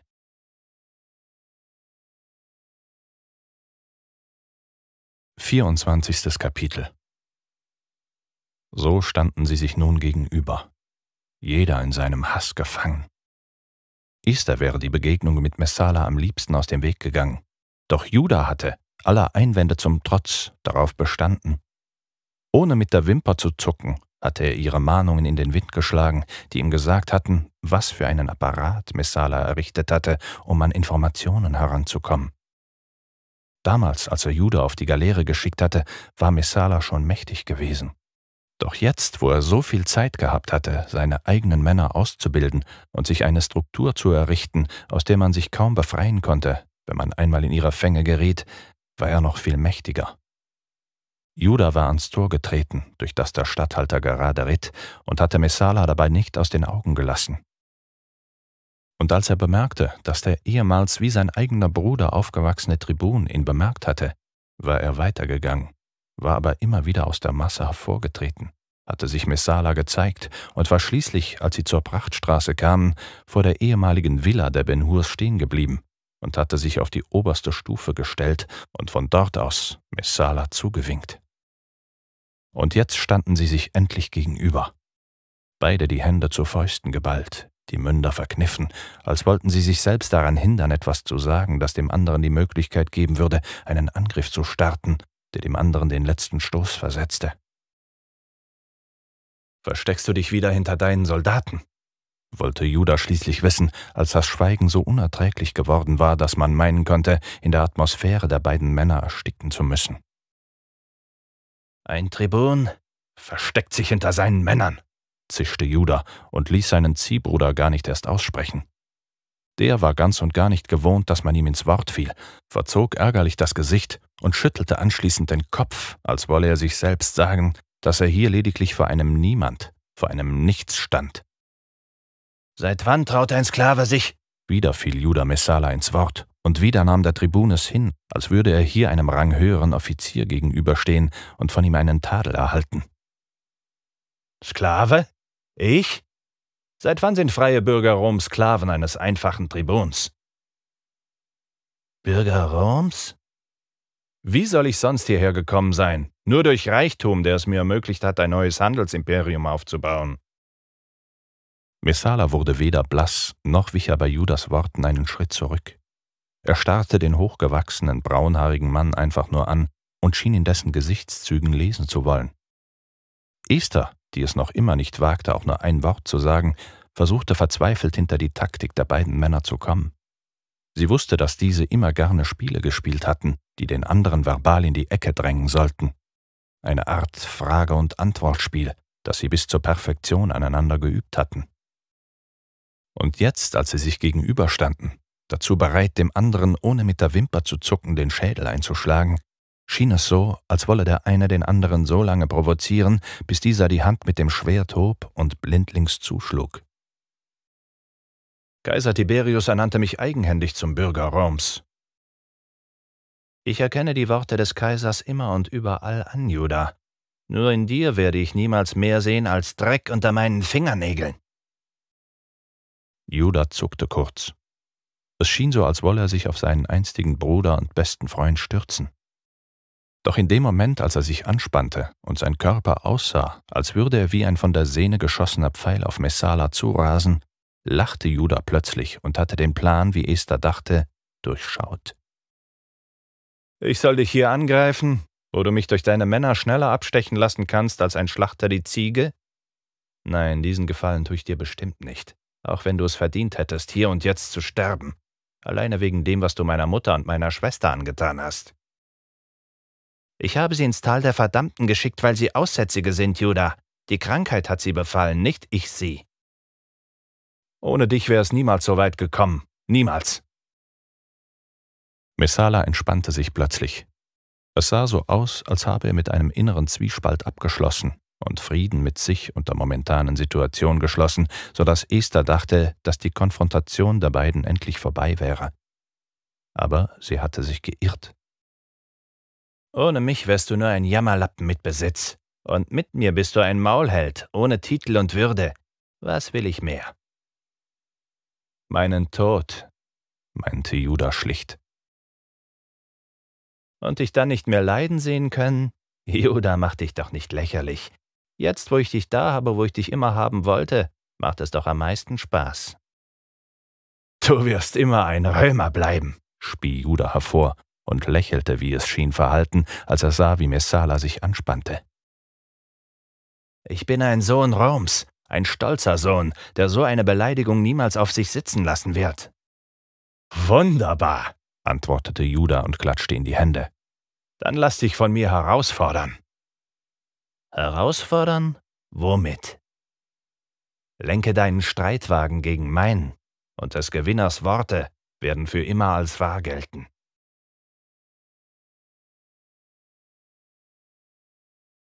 Fünfundzwanzigstes Kapitel Das Passafest war nun gekommen.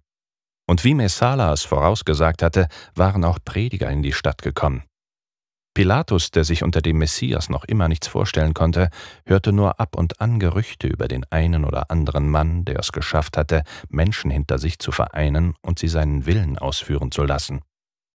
Dazu kam noch, dass viele Menschen, die in die Stadt strömten, mitbekommen hatten, dass es einen Rückkehrer in die Stadt gab, der es geschafft hatte, den gefürchteten Tribun Messala so zu provozieren, dass dieser sich darauf eingelassen hatte, ein Wagenrennen gegen ihn zu fahren.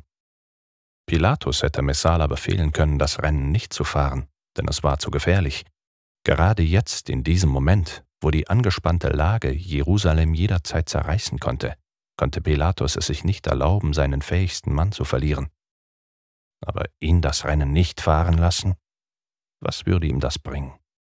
Nichts außer dass die Menschen in der Stadt genau wussten, was hier wirklich auf dem Spiel stand und dass Pilatus sich vor dem Volk fürchtete.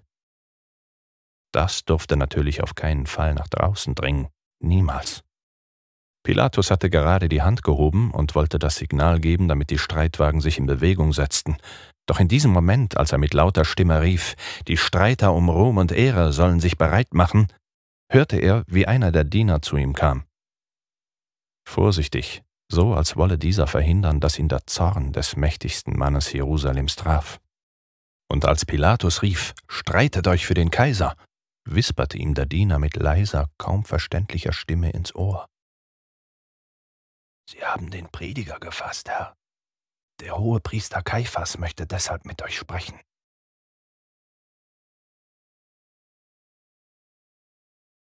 Sechsundzwanzigstes Kapitel Endlich war es soweit. Er würde seine Rache bekommen oder alles verlieren. Wobei an das Verlieren hatte Judah bisher nicht einen Augenblick gedacht, denn alles in ihm war auf einen einzigen Punkt gerichtet gewesen. Es hatte keinerlei Zweifel gegeben, keinen Anflug einer ihn erzittern lassenden Besorgnis. Alles in ihm hatte danach geschrien, den Weg der Rache zu beschreiten und Messala hierher zu bringen, in die Arena, wo er die größte aller Niederlagen einstecken sollte, die es einzustecken gab. Aber jetzt begann er darüber nachzudenken, was er hier eigentlich tat. Judah hatte in den Jahren seines Daseins als Sklave viel erlebt, viel gelernt und eines verinnerlicht, das ihn bis hierher gebracht hatte. Niemals aufgeben und immer an sich glauben. Und gerade jetzt in dem Moment, als er sah, wie Pilatus die Hand hob und irgendetwas in die Arena schrie, befiel Judah die Furcht zu versagen, die er so intensiv noch niemals zuvor in seinem Leben gespürt hatte. Die Anspannung, die nach ihm griff, war so gewaltig, dass er glaubte, sich jeden Augenblick in die Hosen machen zu müssen. Ein Gefühl der inneren Lähmung hatte ihn plötzlich befallen, und deshalb hatte er die Zügel locker gelassen, als das Signal erklang, für den Sieg zu streiten. Messala, der dazu ausgebildet worden war, Befehlen blind zu folgen, ließ die Zugleinen sofort knallen, als der Arm von Pilatus fiel, und stieß dabei einen so gellend lauten Schrei aus, dass er selbst das Rufen der Armee übertönte. Die beiden schwarzen Hengste, die den Streitwagen von Judas Bruder zogen, galoppierten mit trommelnden Hufschlägen los. Erst jetzt, als Messala an ihm vorbeigezogen war, gab Judah den Befehl, ebenfalls loszustürmen. Die anderen Männer, die an dem Rennen teilnahmen, peitschten auf ihre Tiere ein und stießen hohlklingende Worte aus, die ihre Pferde zu Höchstleistungen treiben sollten. Staub wirbelte auf und biss in seine Augen. Judah kniff die Augen zusammen und wusste, dass dies die kritischste aller Phasen des Rennens war. Er hatte damals, als er in Rom das Lenken eines Streitwagens gelernt hatte, schmerzhafte Erfahrungen damit machen müssen, wenn er über die Umrandung fiel, aus der Kurve geschleudert oder von den Fliehkräften zu Boden gerissen wurde. Und auch jetzt, als der Ruck durch seine Zügel ging und er seinen Körper anspannte, um nicht umgeworfen zu werden, betete er, dass die Räder des Wagens sich nicht in einer Spurrille verirrten und dadurch einem Höhenunterschied ausgesetzt waren. Denn passierte dies, überschlug man sich mit Leichtigkeit und brach sich schneller das Genick, als einem lieb sein konnte. Seine Pferde wirrten laut, und jedes Mal, wenn er Messalas Kampfschreie hörte, spornte es ihn noch mehr an, zu seinem Bruder aufzuschließen und ihn in einem fair Kampf zu besiegen. Falls das möglich war. Denn Esther war es gewesen, die Judah daran erinnert hatte, dass Messala als Knabe schon gerne das Recht so weit gebeugt hatte, dass es nicht wie Schummeln oder Betrügen aussah, einem aber dennoch so vorkam.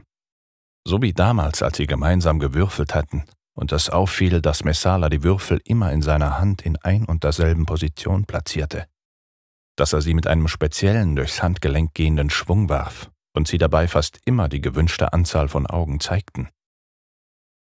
Das alles ging ihm durch den Kopf, während er seinen Wagen an dem eines Konkurrenten vorbeilenkte, der erhebliche Probleme damit zu haben schien, seine Tiere unter Kontrolle zu bekommen. Mit einem flüchtigen Blick hatte Judah bemerkt, dass die beiden Tiere nicht synchron liefen. Während das eine das rechte Bein zuerst anhob, hob das andere das linke als erstes an. Dabei waren die Köpfe der Tiere ebenfalls in unregelmäßige Bewegungen verstrickt und sahen so aus, als wären sie Puppen, die an Stricken hingen und ungeschickt gespielt wurden. Diesen Mann ließ er schnell hinter sich, obwohl er ihm etwas zurief, das Judah nicht verstehen konnte. Staub wirbelte noch immer durch die Arena. Und wie gerade biss er ihm auch jetzt in die Augen. Auch wenn er nur durch einen Tränenschleier sehen konnte, erkannte er, dass Messala an vorderster Front fuhr.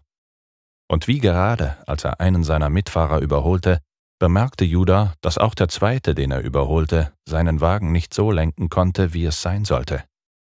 Der Wagen war nicht ausreichend ausbalanciert und schlingerte deshalb wild hin und her was dazu führte, dass der Wagenlenker immer wieder die Fahrt ausgleichen musste und dadurch Probleme bekam.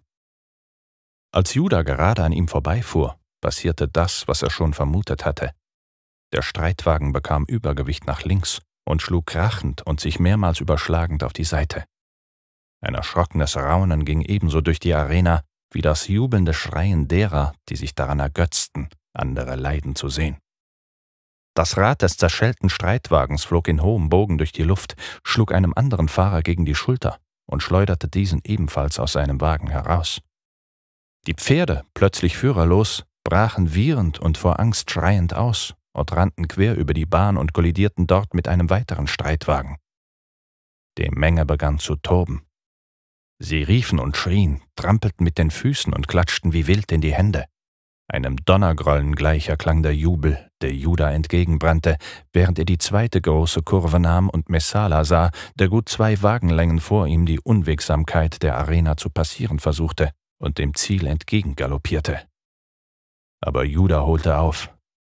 Während die Zweifel nach und nach von ihm abfielen, merkte er, dass er schneller wurde, dass er Atemzug um Atemzug an Messala herankam und schließlich zu ihm aufschloss. Dazu musste er zwei weitere Wagenlenker überholen, die nun beide mit ihren Wagen auf die Innenbahn zogen, um den kürzeren Weg zu nehmen, der sie zuerst in die Kurve hinein und dann wieder hinausließ. Judah lenkte seine Tiere ein wenig nach außen. Dort angelangt, rief er ihnen etwas zu und ließ die Peitsche knallen. Die Pferde zogen an. Sie rannten weiter, als wäre der Teufel persönlich hinter ihnen her. Sie galoppierten so schnell, dass sie ohne Mühe den an dritter Stelle fahrenden Streitwagen überholten. Der zweite, der nun direkt hinter Messala fuhr, wandte den Kopf und schaute finster zu dem grimmig gerade ausblickenden Judah. Hau ab! schrie der Mann und holte mit der Peitsche aus, um sie nicht, wie Judah zuerst vermutete, gegen die Pferde zu richten, sondern gegen ihn. Judah hörte das Pfeifen der die Luft zerschneidenden Riemen, blieb aber zu seiner Verwunderung ganz ruhig. Damals auf der Galeere, als man ihn gezüchtigt und angetrieben hatte, die Ruder ins Wasser zu stoßen, um das globige und schwerfällige Schiff zu bewegen, hatte es ihn den Schmerzen gegenüber beinahe gleichgültig werden lassen. Natürlich hasste er Schmerzen so, wie jeder andere Mensch sie hasste, aber in seiner Zeit als Sklave hatte er gelernt, das Leid zu ertragen, das ihm die Riemen zufügen konnten. Und so stellte er fest, dass ihm das Brennen auf der Haut kaum etwas ausmachte. Er zuckte kurz, einem Reflex folgend, aber mehr auch nicht. Er nahm den Kopf einfach zwischen die Schultern und brüllte ein Hüha und preschte weiter vorwärts. An den Wagen vorbei, wo der Mann noch einmal mit dem Riemen ausholte und ihn erneut zischend durch die Luft fahren ließ. Judah ertrug die Pein und war dann endlich an dem mit unlauteren Mitteln kämpfenden Mann vorbei. Messala fuhr jetzt genau vor ihm. Als hätte dieser bemerkt, dass sich hinter ihm etwas tat, wandte er den Kopf und schaute über die Schulter hinweg zu Judah. Seine Augen verengten sich zu Schlitzen. In seinem Gesicht stand blanker Hass geschrieben, und um seinen Mund herum zuckte eine Niedertracht, die Judah ahnen ließ, dass Messala mehr als nur die Würfel richtig in seiner Hand positioniert hatte, um das Spiel gewinnen zu können. Messala war auf alles vorbereitet. Deshalb zog er den Streitwagen hinüber zu Judah, um diesen zu rammen. Judah, der die Aktion vorausgeahnt hatte, lenkte dagegen und spürte, wie die auf Rädern dahinrasenden Kolosse aufeinanderprallten. Das Gefühl, als würden ihm die Arme aus den Schultern gerissen werden, ließ ihn schreien, und mit Entsetzen stellte er fest, dass ihm die Unterarme taub zu werden begannen. Es kam ihm so vor, als habe er einen Schlag kassiert, der nichts weiter zum Ziel hatte, als jedes Gefühl aus seinen Fingern verschwinden zu lassen. Gib endlich auf! Schrie Messala gegen den donnernden Lärm der Hufe, dem tosenden Applaus von den Rängen und dem Knattern der sich wie wild drehenden Räder an. Du wirst niemals gewinnen! Aber Judah gab ihm keine Antwort. Er wollte gewinnen, mehr nicht. Er wollte den verhassten Feind endlich schlagen und ihn vor dem ganzen Publikum sagen lassen, dass er es gewesen war, der das Haus Ben Hur verunglimpft hatte der dafür verantwortlich gewesen war, dass Menschen ins Tal der Aussätzigen gebracht worden waren, obwohl sie gar nicht an Lepra erkrankt gewesen waren. Alleine die Bilder, die sich ihm boten, wenn er nur daran zurückdachte, wie er versucht hatte, zu seiner Mutter und zu seiner Schwester zu gelangen und er von den Soldaten aufgehalten worden war, reichte aus, um ihn weiterlenken zu lassen. Messala entgegen, um ihn auf der Zielgeraden zu überholen. Dieser dachte aber gar nicht daran, sich geschlagen zu geben. Wie gerade schon als Judah den Zweitplatzierten zu überholen versuchte, schlug Messala mit der Peitsche zu. Geschickter, gezielter und tödlicher. Judah hatte die feine, zarte Schnur gar nicht kommen sehen. Er hatte kein Zischen, kein pfeifendes Zerschneiden von Luft gehört. Nichts. Da war nur der plötzlich unter seinem linken Auge tobende, rasende Schmerz, der Judah glauben ließ, sofort ohnmächtig werden zu müssen. Er hatte gespürt, wie er getroffen wurde, und sofort bemerkt, wie ihm die Sehkraft abhanden kam. Blut spritzte ihm ins Gesicht und machte eine klare Sicht unmöglich. Der zweite Treffer traf ihm am Kinn und der dritte am Hals. Die drei Male, die er getroffen wurde, ließen ihn jedes Mal beinahe die Kontrolle über seinen Wagen verlieren. Er riss an den Zügeln, versuchte in der Spur zu bleiben, fiel jedoch unweigerlich zurück. Beinahe wurde er von dem anderen Peitschenschwinger überholt und konnte nur mit Mühe verhindern, zurückzufallen. Der Schmerz, der nun durch sein Gesicht tobte und ihn glauben ließ, blind zu werden, war Triebfeder und Bremse zugleich. Einerseits bewirkte er, dass Judas Hass stärker denn je zu glühen begann, aber er bremste ihn auch, weil Judas Zuversicht zu schwinden begann, jemals Gerechtigkeit üben zu können. Der Hass gewann schließlich. Auch wenn er nichts sehen konnte, Messala nur noch als vor ihm dahinrasenden Schemen erkannte, so zog er die Zügel stramm und hielt seine Pferde dazu an, wieder an Messala heranzukommen. Was ihm gelang. Und wie gerade als er ihn fast überholt hatte, peitschte Messala wieder nach ihm. Der erste Treffer riss blutende Striemen über Judas Hals und Ohr. Den zweiten Schlag konnte Messala nicht platzieren, denn aus einem Reflex heraus hatte Judah die Hand gehoben und die auf ihn zuschießende Peitsche gepackt und an ihr gezogen. Messala schrie.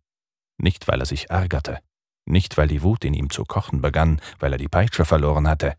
Er schrie, weil er den Knauf der Peitsche nicht loslassen konnte, denn eine Schlaufe verband den Knauf mit seinem Handgelenk.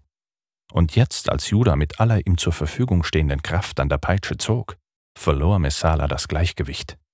Er kippte zur Seite, prallte gegen die Innenseite der Reiterkabine und wurde dann gänzlich über den Rand gezogen, als Judah ein zweites Mal daran zerrte und mit einem inneren Gefühl des Schreckens und des Jubels sah, wie sein einst zum Feind gewordener Bruder in den Staub der Arena stürzte und von den beiden hinter ihnen fahrenden Streitwagen erfasst und überrollt wurde.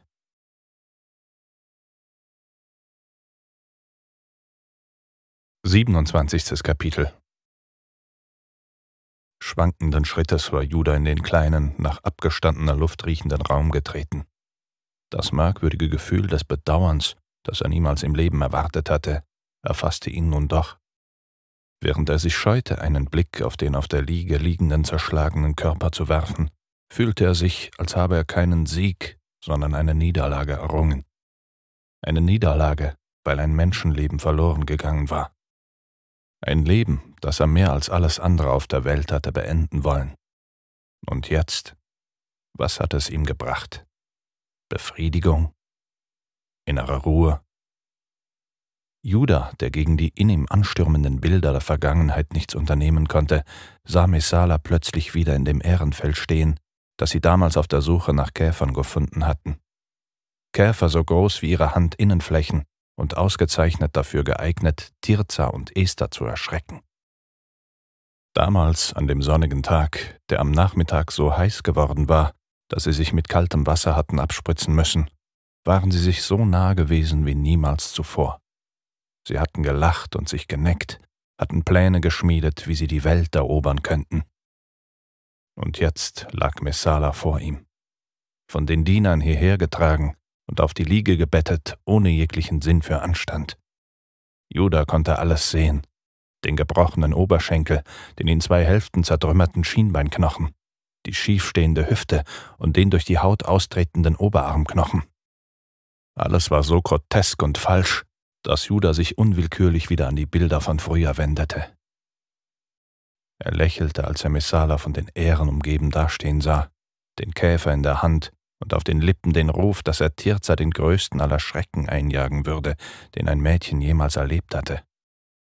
Daran wollte er sich erinnern. Und so ging er neben dem zerschlagenen Körper seines Bruders in die Knie und flüsterte. Der Hass auf dich hat mich überleben lassen. Meine Liebe zu dir war immer meine Kraft, um zu leben.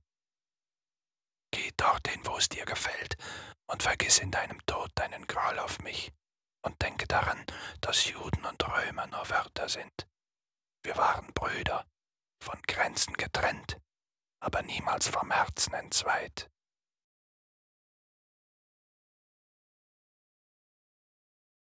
Achtundzwanzigstes Kapitel Judah kam sich vor, als hätte ihm jemand mit der Hand in den Kopf gegriffen und seine Gedanken durcheinandergewirbelt.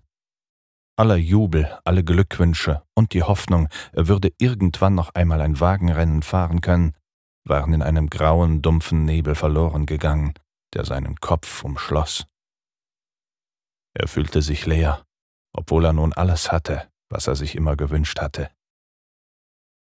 Bis auf meine Familie, dachte er und erschauderte, als Esther zu ihm kam, die Hand nach ihm ausstreckte und lächelte, als er sie ergriff. Die Feier für den Sieger, die am Ende stets in einem Gelage endete, war bereits in vollem Gange. Niemand kümmerte sich darum, dass der Tribun Jerusalems gestorben war, dass das Wagenrennen ein Opfer gefordert hatte, das dem Sieger nahegestanden hatte. Und jetzt, als er Gedanken verloren an dem Kelch nippte, in dem sich lieblich schmeckender Wein befand, dachte er an seine Mutter und Schwester. Was hatte ihnen der Tod von Messala gebracht? Nichts, wie er bekümmert feststellte. Gar nichts. Sie leben weiterhin im Tal der Verdammten, siechen unaufhaltsam dahin und werden früher oder später ihrem Schöpfer gegenübertreten. Man hat den Prediger gefasst, drangen nun die Worte eines Mannes an Judas Ohren. Das heißt, er sitze bei Pilatus und wird gerade von ihm verhört. Ich hörte, dass er auf der Flucht sei. Im Garten Gethsemane soll es zu einem Handgemenge mit Toten gekommen sein. Mir ist zu Ohren gekommen, es seien nur Verletzte. Wahrscheinlich sind die Gerüchte wieder einmal lauter als die Tatsachen. Aber das mit dem Ohr finde ich schon merkwürdig. Dem Ohr? Es soll einem der Männer abgeschlagen worden sein, der den Prediger gefangen genommen hat, und der Messias, wie er sich selbst nennt, soll ein weiteres Blutvergießen verhindert haben. Ach, erwiderte der Mann seufzend, was wäre Jerusalem nur ohne Gerüchte? Judah verdrehte die Augen, weil er nicht verstand, warum er sich in seinem Triumph wie ein Verlierer fühlte.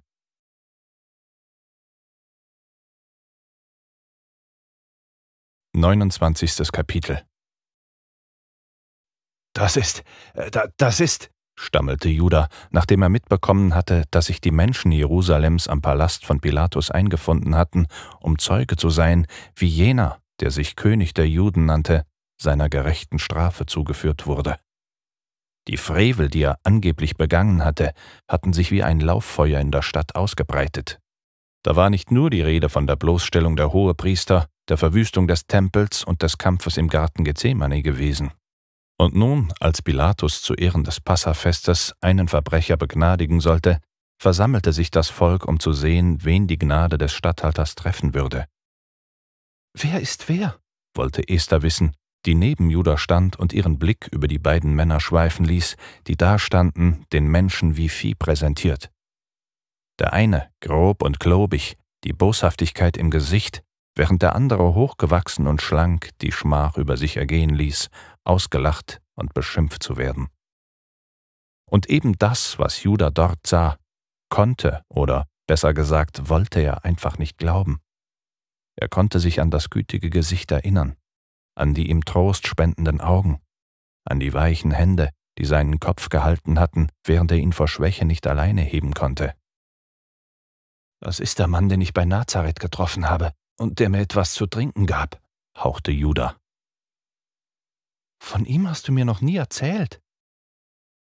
Weil ich ihn vergessen und doch immer in meinem Herzen getragen habe, murmelte Judah fassungslos und hörte, wie Pilatus die Menge fragte, welcher der beiden Männer seine Gnade erleben sollte. Barabbas! schrie die Menge und nahm es billigend in Kauf, dass ein Verbrecher, der gestohlen und gemordet hatte, wieder unter ihnen weilte. Der Nazaretiner! rief Judah und merkte sofort, dass seine Worte in dem allgemeinen Tumult untergingen. Ich wasche meine Hände in Unschuld, ließ Pilatus verlauten, als die Wahl getroffen worden war. Denn ich will mit dem Tod von Jesus Christus nichts zu tun haben.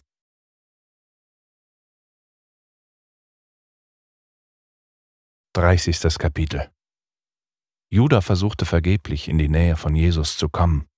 Nachdem der Mann aus Nazareth gegeißelt und gefoltert worden war und man ihm eine Dornenkrone auf den Kopf gesetzt und ihn als König der Juden verspottet hatte, war ihm das eigene Kreuz, an dem er hängen sollte, ausgehändigt worden, damit er es durch die Straßen Jerusalems trug.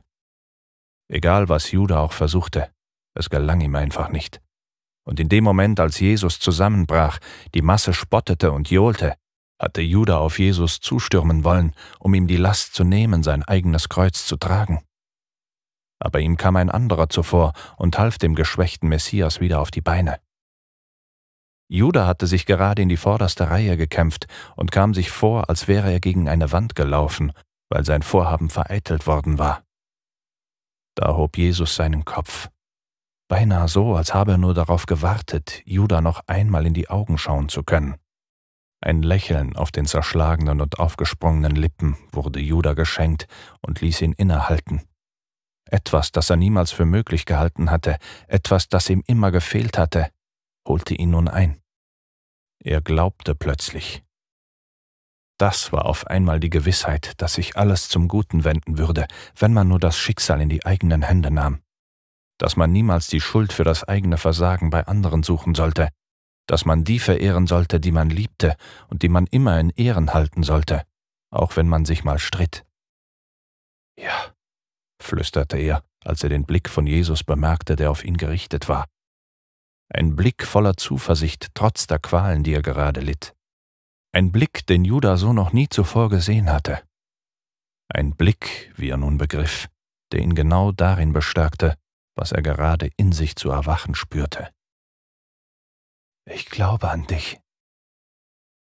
Und so wird dir geholfen, meinte er Jesus sagen zu hören und schaute ihm hinterher, als dieser seinen Weg ging, gebeugt und geschlagen, aber ungebrochen.